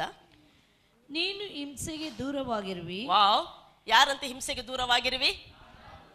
ನೀನು. ಕಮನ್ ಹೇಳೋಣ. ನಾನು. ನಾನು. ನಮಗೆ ಹಿಂಸೆ ಕುರಿತು ಚಿಂತೆನೆ ಬೇಡ. ಪೀಡೆ ಕುರಿತು ಚಿಂತೆನೆ ಬೇಡ. ಕೊರತೆ ಕುರಿತು ಚಿಂತೆನೆ ಬೇಡ. ನಾಳೆ ಹೇಗಪ್ಪ? ನಾಡ್ದು ಹೇಗಪ್ಪ? ಆ ಸಂಗತಿಯಲ್ಲಿ ನೀಗಿಸಿಕೊಳ್ಳೋದು ಹೇಗೆ? ಇದನ್ನು ಪೂರೈಸಿಕೊಳ್ಳೋದು ಹೇಗೆ? ಚಿಂತೆನೆ ಬೇಡ. ಯಾಕಂದ್ರೆ ಯಾವುದ್ಯಾವುದು ಮನುಷ್ಯನಿಗೆ ಹಿಂಸೆ ಪಡಿಸ್ತೇತೋ ಆ ಹಿಂಸೆ ನಮಗೆ ದೂರ. ಅಲ್ಲಲ್ಲೂಯ ಯಾಕಂದ್ರೆ ದೇವರು ನಮ್ಮ ಸಂಗಡ ಇದ್ದಾನೆ ರೀ. ಆತ ನಮಗೆ ಕಣ್ಣಿಗೆ ಕಾಣ್ತಾ ಇದ್ದಷ್ಟು, ಇಲ್ಲದಷ್ಟು ಮಾತ್ರಕ್ಕೆ ಇಲ್ಲ ಎಂಬುದಾಗಲ್ಲ. ನಾವು ಸಿಸ್ಟರ್ ನನಗೊಂದು ವಾಟ್ಸಪ್ಪಲ್ಲಿ ಮೆಸೇಜ್ ಕಳಿಸಿದೆ ಕೆಲವು ದಿವಸದ ಹಿಂದೆ. ಮನುಷ್ಯನು ಆತ್ಮಿಕ ಲೋಕದಲ್ಲಿ ಅವನು ಏನಾಗಿದ್ದಾನೆ ಎಂಬುದಾಗಿ. ಈಗ ನಾನು ಸಾಮಾನ್ಯವಾಗಿ ಒಂದು ಮನುಷ್ಯನಾಗಿ ಇಲ್ಲಿರ್ಬೋದು ಬಟ್ ಆತ್ಮಿಕ ಲೋಕದಲ್ಲಿ ನಾನೊಂದು ಸೈನಿಕ, ಅದು ಸಹ ದೇವರ ಲೋಕದ ಸೈನಿಕ. ಅಲ್ಲ ಲೂಯ ನಾವು ನೋಡ್ತೇವೆ, ನನ್ನ ಸಂಗಡ, ನನ್ನ ಸುತ್ತಲೂ ದೇವದೂತರು ಯಾವಾಗಲೂ ಇರ್ತಾರೆ. ನನ್ನ ಸಂಗಡ ಯಾವಾಗಲೂ ದೇವರ ಪ್ರಸನ್ನತೆ ಇರ್ತೈತೆ. Praise a lot hallelujah. ವೈರಿ, ಸೈತಾನನು, ದುರಾತ್ಮಗಳು ಮಾಟ ಮಂತ್ರಗಳು ಯಾವ ಮನುಷ್ಯರು, ಯಾವ ಕೇಡುಗಳು ಸಹ ನಮ್ಗೆ ಹತ್ತಿರ ಬರಲಿಕ್ಕೆ ಚಾನ್ಸೇ ಇಲ್ಲ. ಯಾಕಂದ್ರೆ ದೇವರು ನಮ್ಮ ಸಂಗಡ ಇದ್ದಾನೆ. ಹಾಲಲ್ಲೂಯ. ನೀನು ಹಿಂಸೆಗೆ ದೂರವಾಗಿರುವಿ. ನಿನಗೆ ಹೆದರಿಕೆ ಇರುವುದಿಲ್ಲ. ನಿನಗೆ ಹೆದರಿಕೆ ಇರುವುದಿಲ್ಲ. ನಾಶನವು ನಾಶನವು ದೂರವಾಗಿರುವುದು. ದೂರವಾಗಿರುವುದು. ನಿನ್ನ ಹತ್ತಿರಕ್ಕೆ ಬಾರದು. ಬಾರದು. ನೋಡು. ನೋಡು. ಯಾರಾದರೂ ನಿನ್ನ ಸಂಗಡ ವ್ಯಾಜ್ಯವಾಡಿದರೆ ಅದು ನನ್ನ ಅಪ್ಪಣೆಯಿಂದ ಅಲ್ಲ. ಯಾರು ನಿನ್ನ ಮೇಲೆ ವ್ಯಾಜ್ಯವಾಡುತ್ತಾರೋ ಅವರು ನಿನ್ನ ನಿಮಿತ್ತ ಕೆಡವಲ್ಪಡುವರು. ನೋಡಿ ನಮ್ಗೆ ವಿರುದ್ಧವಾಗಿ ಯಾರಾದ್ರೂ ನಿಂತುಕೊಂಡ್ರೆ ಪ್ರತಿ ಸರಿ ನಮ್ಗೆ ಆಲೋಚನೆ ಬರೋದೇನಂದ್ರೆ ದೇವರು ಅವರನ್ನು ಎಬ್ಬಿಸಿ ಬಿಟ್ಟಿದ್ದಾರೇನು ದೇವರೇ ಈ ಸಮಸ್ಯೆಗೆ ಅಪ್ಪಣೆ ಕೊಟ್ಟು ಬಿಟ್ಟಿದ್ದಾನೇನು? ದೇವರೇ ಈ ಸಂಗತಿಗಳಿಗೆ ಅಪ್ಪಣೆ ಕೊಟ್ಟು ಬಿಟ್ಟಿದ್ದಾನೇನು? ಎಂಬುದಾಗಿ ನಾವು ಅನೇಕ ಎಲ್ಲಾ ಮನುಷ್ಯರಿಂದ ಆಲೋಚನೆ ಮಾಡ್ತಾರೆ. ಈವೆನ್ ದೇವರ ಮಕ್ಕಳು ಸಹ, ಈವೆನ್ ಕ್ರೈಸ್ತವರು ಸಹ. ಓ, ದೇವರ ಅಪ್ಪಣೆ ಕೊಟ್ಟಿರಬೇಕು ಎಂಬುದಾಗಿ. ದೇವರು ಹೇಳ್ತಾ ಇದ್ದಾನೆ, ಯಾರಾದರೂ ನಿನಗೆ ವಿರುದ್ಧವಾಗಿ ವ್ಯಾಜ್ಯವಾಗಿದ್ದರೆ, ಏನಾದರೂ ಸಮಸ್ಯೆ ನಿನಗೆ ವಿರುದ್ಧವಾಗಿ ಬಂದ್ರೆ, ಅದು ನನ್ನ ಅಪ್ಪಣೆಯಿಂದಲ್ಲ. ಯಾಕಂದ್ರೆ, ನಾನು ಅಪ್ಪಣೆ ಕೊಟ್ಟಿರುವಂಥದ್ದು ನಿನಗೆ ಶುಭವ ಉಂಟಾಗಬೇಕೆಂಬುದಾಗಿ ಆಶೀರ್ವಾದ ನಿನ್ನ ನಿಂಬಾಲಿಸಬೇಕೆಂಬುದಾಗಿ ಏಳಿಗೆ ನಿನಗಾಗಬೇಕೆಂಬುದಾಗಿ, ಕ್ಷೇಮ ಭದ್ರತೆ ನಿನಗಿರಬೇಕೆಂಬುದಾಗಿ ನಾನು ಅಪ್ಪಣೆ ಕೊಟ್ಟಿದ್ದೇನೆ. ಕೇಡಿಗೆ ನಾನು ಅಪ್ಪನೆ ಕೊಡಲಿಲ್ಲ. ಹಾಗಾದ್ರೆ ನನ್ನ ಅಪ್ಪನೆ ಇಲ್ಲದೆ ನಿನಗೆ ಏನಾದರೂ ವಿರುದ್ಧವಾಗಿ ನಿಲ್ಲುವಂತದ್ದಾದ್ರೆ ಅದು ನಿನ್ನ ನಿಮಿತ್ತ ಕೆಡವಲ್ಪಡ್ತದೆ. ಇವತ್ತು ಏನು ಕಷ್ಟ ಇದೆ? ತಿಳ್ಕೊ, ಇದು ದೇವರ ಅಪ್ಪನೆ ಅಲ್ಲ. ದೇವರ ಅಪ್ಪನೆ ಅಲ್ಲದಿರುವಾಗ ಅದು ನಿಲ್ಲೋದೇ ಇಲ್ಲ, ಅದು ಕೆಡವಲ್ಪಡ್ತದೆ. ಪ್ರೈಸ್ ಲಾರ್ಡ್ ಹಲಲೂಯ ಹೇಳಿ, ನನ್ನ, ನನಗಿರುವ ಕಷ್ಟ, ನನಗಿರುವ ಸಮಸ್ಯೆಗಳು, ನನಗಿರುವ ವಿರೋಧಗಳು, ಅವು ದೇವರ ಅಪ್ಪಣೆಯಿಂದ ಬಂದವುಗಳಲ್ಲ. ಆದ್ದರಿಂದ ಅವು ಕೆಡವಲ್ಪಡುವವು. ಅವು ಕೆಡವಲ್ಪಡುವವು. ಅವು ಕೆಡವಲ್ಪಡುವವು. ಅಲ್ಲೂಯ ದೇವರು ನಮ್ಮನ್ನು ಪ್ರೀತಿ ಮಾಡಿದ್ದಾನೆ ರೀ. ದೇವರು ನಮ್ಮ ಮೇಲೆ ಶಾಶ್ವತವಾದ ಮಮತೆಯನ್ನಿಟ್ಟಿದ್ದಾನೆ ದೇವರು ನಮ್ಮ ಸಂಗಡ ಇದ್ದಾನೆ. ದೇವರು ನಮ್ಮನ್ನು ಮಕ್ಕಳನ್ನಾಗಿ ಸ್ವೀಕಾರ ಮಾಡಿದ್ದಾನೆ. ದೇವರು ತನ್ನ ಆತ್ಮನನ್ನು ನಮ್ಮಲ್ಲಿಟ್ಟಿದ್ದಾನೆ ಆದ್ದರಿಂದ ನಮಗೆ ವಿರುದ್ಧವಾಗಿ ಏನಾದರೂ ಬರುವಂಥದ್ದಾದರೆ ಅದು ಕೆಡವಲು ಪಡ್ತತೆ ಹೊರತು ಅದು ಜಯಿಸುವುದೇ ಇಲ್ಲ. ಅದು ಜಯಿಸುವುದೇ ಇಲ್ಲ. ಅದಕ್ಕೆ ಪ್ರಿಯ ದೇವರ ಮಕ್ಕಳೇ, ನಾವು ತಿಳ್ಕೊಳ್ಬೇಕು, ಯೇಸು ಸ್ವಾಮಿ ನಂಬಿಕೆ ಇಟ್ಟಂಥ ನಾವುಗಳು ಸಾಮಾನ್ಯರಲ್ಲ. ನಾವು ಲೋಕದಲ್ಲಿ ಮನುಷ್ಯರಾಗಿರ್ಬೋದು, ಆದರೆ ನಮ್ಮ ಸಂಬಂಧ ಮಾತ್ರ ದೇವರ ಸಂಗಡ. ನಮ್ಮ ಅನ್ಯೋನ್ಯತೆ ಯೇಸು ಕ್ರಿಸ್ತನ ಸಂಗಡ. ಅದಕ್ಕೆ ಯೇಸು ಸ್ವಾಮಿ ಈ ಲೋಕಕ್ಕೆ ಬಂದಾಗ ಯೇಸು ಸ್ವಾಮಿಗೆ ಒಂದು ಹೆಸರನ್ನು ದೇವರು ಕೊಡ್ತಾನೆ. ಏನಂದ್ರೆ ಇಮ್ಮಾನುವೇಲ್ ಎಂಬುದಾಗಿ. ಏನೆಂಬುದಾಗಿ? ಇಮ್ಮಾನುವೇಲ್. ಆತನ ಇಮ್ಮಾನುವೇಲ್ ಎಂದು ಹೆಸರಿಜ ಹೆಸರಿಡಲಾಗುವುದು. ಯಾಕಂದ್ರೆ ದೇವರು ನಮ್ಮ ಕೂಡ ಇದ್ದಾನೆ. ಪ್ರಕಟಣ ಗ್ರಂಥದಲ್ಲಿ ಒಂದು ಮಾತಿದೆ. ಇಗೋ, ದೇವರ, ನೋಡಿ ಇಪ್ಪತ್ತೊಂದನೇ ಪ್ರಕಟಣ ಗ್ರಂಥ, ಇಪ್ಪತ್ತೊಂದನೇ ಸಂಧಿ, ಮೂರನೇ ವಚನ. ನನಗೆ ತುಂಬಾ ಇಷ್ಟ ಈ ಮಾತು. ಥರ್ಡ್ ವರ್ಸ್ ಇದಲ್ಲದೆ. ಸಿಂಹಾಸನದೊಳಗಿಂದ ಬಂದ ಮಹಾಶಬ್ದವು ನನಗೆ ಕೇಳಿಸಿತು. ಅದು ಹೀಗೋ ದೇವರ ನಿವಾಸವು ಮನುಷ್ಯರಲ್ಲಿ ಅದೇ. ಆತನು ಅವರೊಡನೆ ವಾಸ ಮಾಡುವನು. ಅವರು ಆತನಿಗೆ ಪ್ರಜೆಗಳಾಗಿರುವರು. ದೇವರು ತಾನೇ ಅವರ ಸಂಗಡ ಇರುವನು. ಅವರ ಕಣ್ಣೀರನ್ನೆಲ್ಲ ಹೊರಸಿ ಬಿಡುವನು. ಇನ್ನು ಮರಣವಿರುವುದಿಲ್ಲ. ಇನ್ನು ದುಃಖವಾಗಲಿ ಗೋಳ ಗೋಳಾಟವಾಗಲಿ ಕಷ್ಟವಾಗಲಿ ಇರುವುದಿಲ್ಲ. ಮೊದಲಿದ್ದೆಲ್ಲವೂ ಹಲಲೂಯ ಪ್ರೈಸ್ ದೇವರ ಈಗೋ ದೇವರ ನಿವಾಸವಿಗೆ ಯಾರ ಮಧ್ಯದಲ್ಲಿ? ಮನುಷ್ಯರ ಮಧ್ಯದಲ್ಲಿ. ಯೇಸು ಕ್ರಿಸ್ತನ ಈ ಲೋಕಕ್ಕೆ ಬಂದಾಗ ಒಂದು ಶುಭದ ಸಂದೇಶವೇನಂದ್ರೆ ಮನುಷ್ಯರು ದಿಕ್ಕಿಲ್ಲದವರಾಗಿ ಸೈತಾನ ಶತ್ರುವಾದಂಥ ಸೈತಾನನ ಮೂಲಕ ಪೀಡಿಸಲ್ಪಡ್ತಾ ನಿರೀಕ್ಷೆ ಇಲ್ಲದ ಹಾಗೆ ಜಿಗುಪ್ಸಿಗೆ ಒಳಗಾಗುವಂಥ ಈ ಒಂದು ಸನ್ನಿವೇಶದಲ್ಲಿ ದೇವರ ಶುಭವಾರ್ತೆ ಏನಂದ್ರೆ ಯೇಸು ಕ್ರಿಸ್ತನ ಈ ಲೋಕಕ್ಕೆ ಬರುವುದರಿಂದ ಇನ್ನು ದೇವರ ನಿವಾಸವು ಮನುಷ್ಯರ ಮಧ್ಯದಲ್ಲಿ. ಮನುಷ್ಯನನ್ನು ಪೀಡಿಸುವಂತ ಸೈತಾನನಾಗಲಿ, ಯಾವ ಸಮಸ್ಯೆಗಳಾಗಲಿ, ಇನ್ನು ಜಯಿಸಲಿಕ್ಕೆ ಚಾನ್ಸೇ ಇಲ್ಲ. ಯಾಕಂದ್ರೆ ದೇವರು ಅವರ ಸಂಗಡಲೇ ಇದ್ದಾನೆ. ಅಲಲ್ಲೂಯ ಅವರ ಮಧ್ಯದಲ್ಲಿ ಆತನು ನಡೆದಾಡುತ್ತಾನೆ. ಅವರ ಮಧ್ಯದಲ್ಲಿ ಆತನು ಸಂಚಾರ ಮಾಡುತ್ತಾನೆ. ಪ್ರೈಸ್ ಅಲ್ಲ ನಿವಾಸವಂತ ಹೇಳುವಾಗ, ಈಗ ನಾವು ಬ್ಯಾಂಗ್ಳೂರು ಬಂದಿದ್ದೇವೆ. ನಾವು ಪಾಸ್ಟರ್ ಅವರು ಮನೆಯಲ್ಲಿದ್ದೇವೆ. ತುಂಬ ಸಂತೋಷವಾಗಿದ್ದೇವೆ. ಆದರೆ ನಮ್ಮ ನಿವಾಸ ಇಲ್ಲಿಯಾ? ಉಡುಪಿ. ಇಲ್ಲಿ ಬಂದು ಹೋಗಿಬಿಡ್ತೇವೆ ಉಡುಪಿಯಲ್ಲಿ ಪರ್ಮನೆಂಟ್ ಯಾವಾಗ ಬೇಕಾದರೂ ನಾವು ಸಿಗ್ತೇವೆ. ಹಾಗೆ ಯೇಸು ಸ್ವಾಮಿ ಇಲ್ಲಿ ದೇವರ ವಾಕ್ಯ ಹೇಳ್ತೈತೆ, ದೇವರು ಅವರ ಮಧ್ಯದಲ್ಲಿ ನಿವಸಿಸ್ತಾನೆ, ವಾಸಿಸ್ತಾನೆ ಅಂತ ಹೇಳುವಾಗ ದೇವರು ಯೇಸು ಕ್ರಿಸ್ತನನ್ನು ಯಾರು ನಂಗೀಕಾರ ಮಾಡ್ತಾರೋ, ಅವ್ರ ಮನೆಗಾಗಲಿ, ಅವರ ಜೀವಿತದಾಗಲಿ ಬಂದು ಹೋಗುವ ಆತನಲ್ಲ ಆತನು ನಮ್ಮಲ್ಲಿ ಶಾಶ್ವತವಾಗಿ ಇರುವಂತ ಆತನ ಆತನಾಗಿದ್ದಾನೆ ಹಗಲು ಇದ್ದಾನೆ, ರಾತ್ರಿ ಇದ್ದಾನೆ. ನಿನಗೆಲ್ಲ ಸುಸಂದರ್ಭಗಳಲ್ಲಿದ್ದಾನೆ ಈವನ್ ನಿನ್ನ ಕಷ್ಟಗಳ ಮಧ್ಯದಲ್ಲಿ ಆತ ನಿನ್ನ ನಿನ್ನ ಹತ್ರ ಇದ್ದಾನೆ. ಅಲ್ಲೂಯ ಜನರು ನಿನಗೆ ವಿರೋಧವಾದಾಗಿದ್ದಾನೆ ಈವನ್ ಅಧಿಕಾರಿಗಳು ನಿನಗೆ ವಿರೋಧವಾದಾಗಿದ್ದಾನೆ. ಹಲಲೂಯ ಎಲ್ಲ ಸಂದರ್ಭದಲ್ಲಿ ದೇವರು ನಿನ್ನ ಸಂಗಡ ಇದ್ದಾನೆ ಪ್ರಿಯರೇ. ಅಲಲೂಯ ಆದ್ದರಿಂದ ದೇವರ ವಾಕ್ಯ ಹೇಳ್ತೈತೆ, ನಾವು ಅನಾಥರಲ್ಲ. ಕಮನ್ ನಾವು ಯಾರಲ್ಲ ನಾವು ದಿಕ್ಕಿಲ್ಲದವರು. ಅಲ್ಲ, ದೇವರು ಒಬ್ಬನು ಹೇಳ್ತಾನಂತೆ ಬೈಬಲಲ್ಲಿ ಕೀರ್ತನೆಗಳಲ್ಲಿ ಕೀರ್ತನಗಾರನ್ ಹೇಳ್ತಾನೆ, ನನಗೆ ಸಹಾಯ ಮಾಡೋರು ಯಾರಿದ್ದಾರೆ ಎಂಬುದಾಗಿ ಅನೇಕರು ಹೇಳಿಕೊಳ್ತಾರೆ. ನಾವು ಅನೇಕ ಸರ್, ನನಗೆ ಸಹಾಯ ಮಾಡೋರು ಯಾರಿದ್ದಾರೆ? ನಮ್ಮನ್ನು ಕೈ ಹಿಡ್ಕೊಳ್ಳೋರು ಯಾರಿದ್ದಾರೆ? ನಮ್ಮನ್ನು ಮೇಲಕ್ಕೆ ತರೋರು ಯಾರಿದ್ದಾರೆ? ನಮಗೆ ಸಪೋರ್ಟ್ ಮಾಡೋರು ಯಾರಿದ್ದಾರೆ ಎಂಬುದಾಗಿ ಅನೇಕರು ಹೇಳಿಕೊಳ್ತಾರಂತೆ. ಅದಕ್ಕೆ ಭಕ್ತನಾದ ದಾವಿದನ್ ಹೇಳ್ತಾನೆ, ದೇವರೇ, ನೀನು ಪ್ರಸನ್ನ ಮುಖದಿಂದ ನೋಡು. ದೇವರೇ, ನೀನು ದಯ ತೋರಿದರೆ ಆ ಮನುಷ್ಯ ಮೇಲಕ್ಕೆ ಬರ್ತಾನೆ. ಆ ಮನುಷ್ಯನಿಗೆ ಸಹಾಯವಾಗ್ತೈತೆ. ಆದರೆ ದೇವರಿಗೆ ಸ್ತೋತ್ರ, ಈಗ ನಮ್ಮೆಲ್ಲರನ್ನು ದೇವರು ಪ್ರಸನ್ನ ಮುಖದಿಂದ ನೋಡಿದ್ದಾನೆ. ಯಾಕಂದ್ರೆ ದೇವರು ನಮ್ಮ ಕೈಯನ್ನು ಹಿಡಿದಿದ್ದಾನೆ ಪ್ರಿಯರು. ಅಲ್ಲೂಯ ಯೇಸು ಕ್ರಿಸ್ತ ನಮಗಾಗಿ ರಕ್ತ ಸುರಿಸಿ ಕೊಟ್ಟು ಮೂರನೇ ದಿವಸ ಮೃತ್ಯುಂಜಯ ಎದ್ದು ಬಂದ ನಂತರ ಆತನಲ್ಲಿ ನಾವು ನಂಬಿಕೆ ಇಡುವಾಗ ಈಗ ದೇವರು ನಮ್ಮ ಸಂಗಡ ಆತನ ಇದ್ದಾನೆ. ಆತನ ದಯೆ ನಮ್ಮ ಮೇಲೆ ಬಂದಿದೆ. ಆದ್ದರಿಂದ ನಮಗೀಗ ಸಹಾಯ ಉಂಟಾ ಇಲ್ಲವಾ? ನಾವು ಮೇಲಕ್ಕೆ ಎತ್ತಲ್ಪಡ್ತೇವಾ ಇಲ್ಲವಾ ಕಮಾನ್ ಹಾಲೂಯ ನಮಗೆ ಭಯನೇ ಇಲ್ಲ. ನಮಗೆ ಚಿಂತೆನೇ ಇಲ್ಲ. ನಮಗೆ ದಿಗುಲೇ ಇಲ್ಲ. ಕಾರಣವೇನೆಂದರೆ ದೇವರು ನಮ್ಮ ಸಂಗಡ ಇದ್ದಾನೆ. ಯಶ ಪ್ರವಾದನ ಗ್ರಂಥ ನಲವತ್ತ್ ಮೂರನೇ ಸಂಧಿ. ಒಂದನೇ ವಚನದಿಂದ ಓದೋದು ಬೇಡ, ಒಂದನೇ ವಚನದಿಂದ ಕೆಲವು ಭಾಗಗಳನ್ನು ಓದ್ತಾ ಬಾ. ಇದು ಗೊತ್ತಿರುವಂಥ ಸಂಗತಿಗಳೇ. ದೇವರ ವಾಕ್ಯ ಹೇಳ್ತೈತೆ, ಇಸ್ರಾಯೇಲನ ಸದಮಲನು ನಿನ್ನ ಸಂಗಡ ಇದ್ದಾನೆ. ಓದ್ತೀರಾ? ಓದಿ. ನ- ಓದುಮ.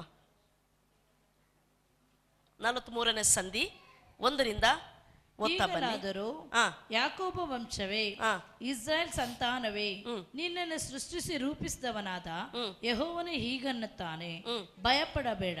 ನಾನು ನಿನ್ನನ್ನು ವಿಮೋಚಿಸಿದೆನಲ್ಲ ನಿನ್ನ ಹೆಸರಿಡಿದು ಕರೆದೇನಲ್ಲ ನೀನು ನನ್ನವನೇ. ನೀನು ಜಲರಾಶಿಯನ್ನು ಹಾದು ಹೋಗುವಾಗ ನಾನು ನಿನ್ನ ಸಂಗಡ ಇರುವೆನು. ನದಿಗಳನ್ನು ದಾಟುವಾಗ ಅವು ನಿನ್ನನ್ನು ಮುಳುಗಿಸವು ಉರಿಯಲ್ಲಿ ನಡೆಯುವಾಗ ನೀನು ಕಂದದಿರುವಿ. ಜ್ವಾಲೆಯು ನಿನ್ನನ್ನು. ದಹಿಸದು. ಜ್ವಾಲೆಯು ನಿನ್ನನ್ನು ದಹಿಸದು. ಇದನ್ನ ಹೇಳ್ತದೆ ನಾನು ನಿನ್ನ ವಿಮೋಚಿಸಿದ್ದೇನಲ್ಲ ಯಾಕೋಬೆ ಯಶೂರಿನೇ ನಾನು ನಿನ್ನ ಹೆಸರಿಡಿದು ಕರೆದಿದ್ದೇನಲ್ಲ ನಿನ್ನ ವಿಮೋಚಿಸಿದ್ದೇನಲ್ಲ ನಾನು ನಿನ್ನ ಸಂಗಡ ಇದ್ದೇನೆ. ನಿನ್ನ ಜಲರಾಶಿಯನ್ನು ಹಾದು ಹೋಗುವಾಗ ಅದು ನಿನ್ನನ್ನೇನು ಮಾಡಲ್ಲ? ಕಮನ್ ಮುಳುಗಿಸದು. ಎಲ್ಲರೂ ಹೇಳೋಣ.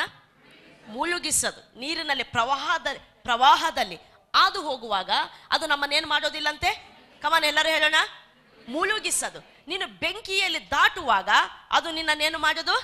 ದಹಿಸದು. ಜ್ವಾಲೆ, ನಿನ್ನ ಕಂದದಿರುವಿ. ಜ್ವಾಲೆಯು ನಿನ್ನನ್ನು ದಹಿಸದು. ನಮ್ಗೆ ಅನೇಕ ಸಾರಿ ಸಮಸ್ಯೆ ಏನಂದ್ರೆ, ನಮ್ಮ, ನಾವು ಕಷ್ಟಗಳು ನಮ್ಮ ಜೀವನದಲ್ಲಿರುವಾಗ ಅಥವಾ ಏನಾದರೂ ಕೆಟ್ಟ ಅನುಭವಗಳು ನಾವು ಬರುವಾಗ ನಾವು ಏನು ಮಾಡ್ತೇವೆ ಅಂದ್ರೆ, ನಮ್ಮ ಸಂಗಡ ದೇವರಿದ್ದಾನೆ ನನಗಿರುವ ಅನ್ಯೋನ್ಯತೆ ದೇವರ ಹತ್ರ ದೇವರು ನನ್ನ ಸಂಗಡಲ್ಲಿ ಇದ್ದಾನೆ ಎಂಬುದಾಗಿ ಆತನನ್ನು ನಾವು ನೋಡುವುದನ್ನು ನಾವು ಬಿಟ್ಟು ನಮ್ಮ ಸಮಸ್ಯೆಗಳನ್ನು ನೋಡ್ಲಿಕ್ಕೆ ನಾವು ಹೋಗ್ತೇವೆ. ದೇವರು ಹೇಳ್ತಾನೆ, ಆ ಸಮಸ್ಯೆ ದೊಡ್ಡದಲ್ಲವೇ ಅಲ್ಲ, ಅದು ನಿನಗೆ ಕೇಡು ಮಾಡಲಿಕ್ಕೆ ಸಾಧ್ಯವೇ ಇಲ್ಲ. ಯಾಕಂದ್ರೆ ಅದು ನನ್ನ ಅಪ್ಪಣೆಯಿಂದ ಅಲ್ಲ. ಕಮಾನ್ ಯಾವಾಗಾದ್ರೆ ಸಮಸ್ಯೆಗಳು ದೇವರ ಅಪ್ಪಣೆಯಿಂದ ಬರುವಂಥದ್ದಾದರೆ ಆ ಸಮಸ್ಯೆಗೆ ಪರಿಹಾರನೇ ಇಲ್ಲ. ಕಮಾನ್ ಸಮಸ್ಯೆ ದೇವರ ಅಪ್ಪನಿಂದ ಬಂದ್ರೆ ಪರಿಹಾರ ಉಂಟಾ? ಯಾಕಂದ್ರೆ ದೇವರ ವಿರೋಧಿ ಆದ್ರೆ ಯಾರಿದ್ದಾರೆ? ದೇವರು ವಾಕ್ಯ ಹೇಳ್ತಾರೆ ಮನುಷ್ಯನು ಮನುಷ್ಯನಿಗೆ ವಿರೋಧಿ ಆದ್ರೆ ದೇವರು ಮಧ್ಯಸ್ಥಿಕೆ ವಹಿಸಬಹುದು. ಅಂದ್ರೆ ದೇವರು ಸಹಾಯಕ್ಕೆ ಬರಬಹುದು ಆದ್ರೆ ದೇವರಿಗೆ ಮನುಷ್ಯನ ವಿರೋಧಿ ಆದ್ರೆ ಯಾರು ಆ ಮನುಷ್ಯನನ್ನು ಬಚಾವ್ ಮಾಡೋದು? ಅರ್ಥ ಆಗ್ತಾ ಉಂಟಾ? ದೇವರು ಮನುಷ್ಯನಿಗೆ ವಿರೋಧಿ ಆದ್ರೆ ಯಾರು ಮಧ್ಯಸ್ಥಿಕೆ ವಹಿಸ್ತಾರೆ? ಯಾರು ಈ ದೇವರಿಗೆ ಬುದ್ಧಿ ಹೇಳಪ್ಪ ಬಿಟ್ಟು ಬಿಡಪ್ಪ ಕನಿಕರ ತೋರಿಸಪ್ಪ ಅಂತ ಯಾರಾದ್ರೂ ದೇವರನ್ನು ಹೊಲಿ ಕನ್ವಿನ್ಸ್ ಮಾಡ್ಲಿಕ್ಕೆ ಆಗ್ತದಾ ಆಗಲ್ಲ. ದೇವರ ವಿರೋಧಿ ಆದ್ರೆ ಏನು ಮಾಡಿಕೊಳ್ಳಿಕ್ಕಾಗಲ್ಲ. ಆದ್ರೆ ಆ ದೇವರು ಹೇಳ್ತಿದ್ದಾನೆ, ನಾನು ನಿನ್ನ ವಿರೋಧಿ ಅಲ್ಲ. ನಿನಗೆ ಬರುವ ಸಮಸ್ಯೆಗಳು ನನ್ನ ಅಪ್ಪಣೆಯಿಂದಲ್ಲ. ನಾನು ನಿನ್ನ ಪಕ್ಷದಲ್ಲಿದ್ದೇನೆ. ಆದ್ದರಿಂದ ನಿನ್ನ ಜೀವಿತದಲ್ಲಿ ಹಾದು ಹೋಗುವಾಗ ಸಮಸ್ಯೆಗಳನ್ನು ನೀನು ಭಯಪಡಬೇಡ, ಅವುಗಳನ್ನು ದೃಷ್ಟಿಸಬೇಡ, ಅವುಗಳಿಗೆ ಲಕ್ಷ್ಯ ಕೊಡಬೇಡ. ಯಾಕಂದ್ರೆ ಅದು ನಿನ್ನನ್ನು ಮುಳುಗಿಸುವುದಿಲ್ಲ, ಅದು ನಿನ್ನನ್ನು ದಹಿಸುವುದೂ ಇಲ್ಲ. ಪ್ರೈಸ್ ಲಾರ್ಡ್ ಹಲಲೂಯ ಹೇಳಿ, ದೇವರು ನಿನ್ನ ವಿರೋಧಿಯಾ? ಮತ್ತೇನಾಗಿದ್ದಾನೆ? ಆತನ ಸಂಬಂಧ ನಮಗಿದೆ. ನಾವು ಆತನ ಸಂಬಂಧಿಕರು. ಏನು ಸಂಬಂಧ? ಆತನ ತಂದೆ ನಾವು ಮಕ್ಕಳು. ಆತನ ತಂದೆ ನಾವು ಮಕ್ಕಳು. ನಾವು ನೋಡ್ತೇವೆ, ಈ ಲೋಕದಲ್ಲಿ ಒಂದು ಮಾತಿದೆ. ದೇವರು ವಾಕ್ಯ ಹೇಳ್ತೈತೆ, ಹೆತ್ತ ತಾಯಿ ತನ್ನ ಮೊಲೆ ಕೂಸನ್ನು ಮರತಳು, ಮರತಾಳು. ನಾನು ನಿನ್ನನ್ನು ಮರೆಯ ಎಂಬುದಾಗಿ. ಯಾಕಂದ್ರೆ ನಾವು ನೋಡ್ತೇವೆ, ತಾಯಿ ಅನ್ನುವಂಥ ವ್ಯ- ವ್ಯಕ್ತಿ ಲೋಕಕ್ಕೆಲ್ಲ ಕೆಟ್ಟವರಾಗಿರ್ಬೋದು. ಆದರೆ ತನ್ನ ಮಗುಗೂ ಮಾತ್ರ ಅವರು ತುಂಬ ಸೂಪರ್ ಪ್ರೀತಿ, ತ್ಯಾಗ, ಬ ಎಲ್ಲ ಸಹ ಮಗುವತ್ರ ಬರುವಾಗ ಅವರು ತುಂಬ ಒಳ್ಳೆಯವರು. ಲೋಕಕ್ಕೆ ಬೇಕಾದರೆ ಗಂಡನಿಗೆ ಕೆಟ್ಟವರಾಗಿರ್ಬೋದು, ಕೆಲವೊಮ್ಮೆ ಅತ್ತೆ ಮಾವನರಿಗೆ ಕೆಟ್ಟವರಾಗಿರ್ಬೋದು, ಅಣ್ಣ ತಮ್ಮಂದ್ರಿಗೆ ಅಕ್ಕ ತಂಗಿಗೆ ಕೆಟ್ಟವರಾಗಿರ್ಬೋದು ನೆರೆಕೆರವರಿಗೆ ಕೆಟ್ಟವರಾಗಿರ್ಬೋದು. ಆದರೆ ಮಕ್ಕಳಿಗೆ ಮಕ್ಕಳಿಗೆ ತಾಯಿ ಒಳ್ಳೆಯವರ ಕೆಟ್ಟವರ? ಅದಕ್ಕೆ ಯಾವ ಮಗುವಾಗ್ಲಿ ನನ್ನ ತಾಯಿ ಕೆಟ್ಟವರಂತ ಹೇಳೋದು ninety nine point nine percent rare ಅಂತ ಸಂಗತಿಗಳು ನೋಡಲ್ಲ. ಎಲ್ಲ ಮಕ್ಕಳಿಗೆ ತಾಯಿ ಒಳ್ಳೆಯವ್ರಿ. ಪ್ರೈಸ್ ಲಾರ್ಡ್ ಹಾಗಾದ್ರೆ ಕೆಟ್ಟವರಾದ ನಾವೇ ನಮ್ಮ ಮಕ್ಕಳಿಗೆ ಒಳ್ಳೆಯದಾದರೆ ದೇವರಿಗೆ ನಾವು ಮಕ್ಕಳ ಸಂಬಂಧದಲ್ಲಿದ್ದೇವೆ, ಆತನು ನಮಗೆ ಒಳ್ಳೆಯವನ ಕೆಟ್ಟವನ? ಹಲಲ್ಲೂಯ ಅದಕ್ಕೆ ಆತನ ಹೇಳ್ತಾರೆ ಮಗನೇ, ಮಗಳೇ, ನೀನು ಬೆಂಕಿಯಲ್ಲಿ ಹಾದು ಹೋಗ್ತಿದ್ಯಾ? ನೀನು ಭಯಪಡಬೇಡ ಬೆಂಕಿ ನೋಡಿ, ಅದು ನಿನ್ನನ್ನು ಕಂದಿಸುವುದೇ ಇಲ್ಲ. ಅದರಿಂದ ನಿನಗೆ ಎಫೆಕ್ಟ್ ಆಗುವುದೇ ಇಲ್ಲ. ಅದು ನಿನ್ನ ಜೀವಿತವನ್ನು ಮುಳುಗಿಸುವುದೇ ಇಲ್ಲ. ಅದು ನಿನ್ನನ್ನು ದಹಿಸದು. ಕಾರಣವೇನೆಂದರೆ ನಾನು ನಿನ್ನ ಸಂಗಡ ಇದ್ದೇನೆ. ಕಮಾನ್ ಯಾರು ಯಾರು ಸಂಗಡಿದ್ದಾರೆ? ನಮಗಿರುವ ಅನ್ಯೋನ್ಯತೆಯು? ಯಾರ ಸಂಗಡ? ನೀನು ಪ್ರತಿದಿನ ಆತನ ಹತ್ರ ಮಾತಾಡ್ಬೋದು. ಪ್ರತಿದಿನ ಆತನ ಹತ್ರ ಸಂಭಾಷಿಸಬಹುದು. ಪ್ರತಿ ದಿನ ನೀನು ಆತನ ಸ್ವರವನ್ನು ಕೇಳಬಹುದು ಆತನ ಭರವಸೆಯಲ್ಲಿ ನೀನು ನಡೆಯಬಹುದು ಆತನ ಧೈರ್ಯದಲ್ಲಿ ನೀನು ಜೀವಿಸಬಹುದು. ಆತನ ಆಶೀರ್ವಾದಗಳನ್ನು ಪ್ರತಿನಿತ್ಯ ನೀನು ಅನುಭವಿಸ್ತಾ ಬರ್ಬೋದು. ಪ್ರೈಸ್ ಅಲಾಡ್ ಪ್ರೈಸ್ ಅಲಾಡ್ ಹಲಲೂಯ ಯಾಕಂದ್ರೆ ಯೇಸು ಕ್ರಿಸ್ತನಲ್ಲಿ ನಂಬಿಕಿಟ್ಟಾಗ ನೀನು ದೇವರಿಗೆ ಮಗಳು, ಮಗನು ಆಗಿದೆಯಾ ದೇವರು ನಿನ್ನ ತಂದೆ ಆಗಿದ್ದಾನೆ. ದೇವರ ಸಂಬಂಧ ನಿನಗಿದೆ. ದೇವರ ಅನ್ಯೋನ್ಯತೆಯಲ್ಲಿ ನೀನು ಇರುವಂಥ ವ್ಯಕ್ತಿಯಾಗಿದ್ದೀಯಾ? ಅದಕ್ಕೆ ಸಮಸ್ಯೆಗಳನ್ನು ನಾವು ನೋಡ್ತೇವೆ, ಇಲ್ಲಿ ಆರಾಧನೆ ಮಾಡ್ತಿರುವಾಗ ನನಗೊಂದು ಆಲೋಚನೆ ಬಂತು. ವಿಶ್ವಾಸಿ, ಕ್ರೈಸ್ತನ, ಅಂದರೆ ಕ್ರೈಸ್ತನಲ್ಲಿ ನಂಬಿಕೆ ಇಟ್ಟಂಥ ವ್ಯಕ್ತಿಯ ಜೀವಿತದ ಒಂದು ಕೆಲಸ ಏನಂದ್ರೆ ದೇವರನ್ನು ನೋಡಿ ಆತನ ಉಪಕಾರಕ್ಕಾಗಿ ಸ್ತೋತ್ರ ಮಾಡುವಂಥದ್ದೇ ದೇವರೇ ನಮ್ಮ ಸಂಗಡಿದ್ದಿ, ನಿನಗೆ ಸ್ತೋತ್ರ ಎಂಬುದಾಗಿ ಹಾಡುವಂಥದ್ದೇ ಸಮಸ್ಯೆ ಕುರಿತು ಲಕ್ಷಿಸಬೇಕಾದ ಅಗತ್ಯತೆ ಇಲ್ಲ. ಸಮಸ್ಯೆ ಕುರಿತು ನೆನೆಸಬೇಕಾದ ಅಗತ್ಯತೆ ಇಲ್ಲ. ಸಮಸ್ಯೆ ಕುರಿತು ಭಯಪಡಬೇಕಾದ ಅಗತ್ಯತೆ ಇಲ್ಲ. ಯಾಕಂದ್ರೆ ಸಮಸ್ಯೆ ದೇವರ ಅಪ್ಪನೆಯಿಂದ ಬರಲಿಲ್ಲ, ಅದು ಖಂಡಿತ ಕೆಡವಲ್ಪಡ್ತದೆ. ನೀನು ದೇವರ ಅನ್ಯೋನ್ಯತೆಯಲ್ಲಿದ್ದೀಯಾ? ನಿನಗೆ ಉದ್ಧಾರವಿದೆ, ನಿನಗೆ ಆಶೀರ್ವಾದವಿದೆ, ಅಭಿವೃದ್ಧಿ ಇದೆ, ಸ್ವಸ್ಥತೆ ಇದೆ, ಕ್ಷೇಮ ಇದೆ, ಭದ್ರತೆ ಇದೆ, ಜಯವಿದೆ, ಜೀವವೂ ಇದೆ. ಕೇಡು ಇಲ್ಲ, ನಾಶನವೂ ಇಲ್ಲ, ಸೋಲು ಇಲ್ಲ. ಪ್ರೈಸ್ ಲಾರ್ಡ್ ಹಲಲೂಯ ನಾವು ಹಿಂಜಾರುವುದೇ ಇಲ್ಲ. ಹಲಲೂಯ ನಮ್ಮ ಅನ್ಯನತೆ ಯಾರ ಸಂಗಡ? ಹಲಲೂಯ ಮದುವೆ ಆಗ್ತಿರೋದ ದಂಪತಿಗಳನ್ನು ಸಹ ನಾನು ಶುಭವನ್ನು ಹಾರೈಸ್ತಾ ನಾನು ಹೇಳುವಂಥದ್ದು ಏನಂದ್ರೆ, ಖಂಡಿತವಾಗಿ ದೇವರು ನಿಮ್ಮ ಸಂಗಡ ಇದ್ದಾನೆ. ನಮ್ಮ ಹಾದಿಯೆಲ್ಲ ಸುಗಮವೇ. ನಮ್ಮ ಹಿಂದೆ ಶುಭವು ಕೃಪೆ ನಮ್ಮ ನಿಂಬಾಲಿಸಿಕೊಂಡು ಬರ್ತೈತೆ. ಅಭಿವೃದ್ಧಿ ನಮ್ಮ ಮಾರ್ಗದಲ್ಲಿದೆ. ಹಲಲೂಯ ನಮ್ಮ ಕೆಲಸ ಕಾರ್ಯಗಳಲ್ಲಿ ನಾವೇನಾಗ್ತೇವೆ? ಕೃತಾರ್ಥರಾಗ್ತೇವೆ. ಕೇಡುಗಳು ನಮಗೆ ದೂರ. ನಾಶನವು ನಮ್ಮ ಹತ್ತಿರಕ್ಕೆ ಬರೋದೇ ಇಲ್ಲ. ನಮ್ಮನ್ನು ಎದುರಿಸಲು ಕಲ್ಪಿಸಿದ ಯಾವ ಆಯುಧವು ಜಯಿಸುವುದೇ ಇಲ್ಲ. ಏನಾದರೂ ವಿರೋಧವಾಗಿ ನಿಮಗೆ ಸಮಸ್ಯೆಗಳ ಪರಿಸ್ಥಿತಿಗಳಿದ್ದಾವ ತಿಳಿದುಕೋ. ಇದು ದೇವರ ಅಪ್ಪಣೆಯಿಂದ ಅಲ್ಲ. ಅಪ್ಪನಿಂದ ಅಲ್ಲ ಅಂತ ಹೇಳಿದ ಮೇಲೆ ಅದರ ಬಗ್ಗೆ ನಾವು ಚಿಂತಿಸಬೇಕಾದಂಥ ಅಗತ್ಯತೆ ಇಲ್ಲ, ಅದು ಕೆಡವಲ್ಪಡ್ತತೆ. ನಾವು ನಿಂತುಕೊಂಡೇ ಇರ್ತೇವೆ. ಅಲ್ಲೂಯ ದೇವರಿ ವಾಕ್ಯವನ್ನು ಆಶೀರ್ವಾದ ಮಾಡಿ ಒಳ್ಳೆಯವ, ನೀನು ಒಳ್ಳೆಯವ. ಒಳ್ಳೆಯದನ್ನೇ ನನಗೆ ಮಾಡುವವ. ಒಳ್ಳೆಯವ, ನೀನು ಒಳ್ಳೆಯವ. ಒಳ್ಳೆ Baba.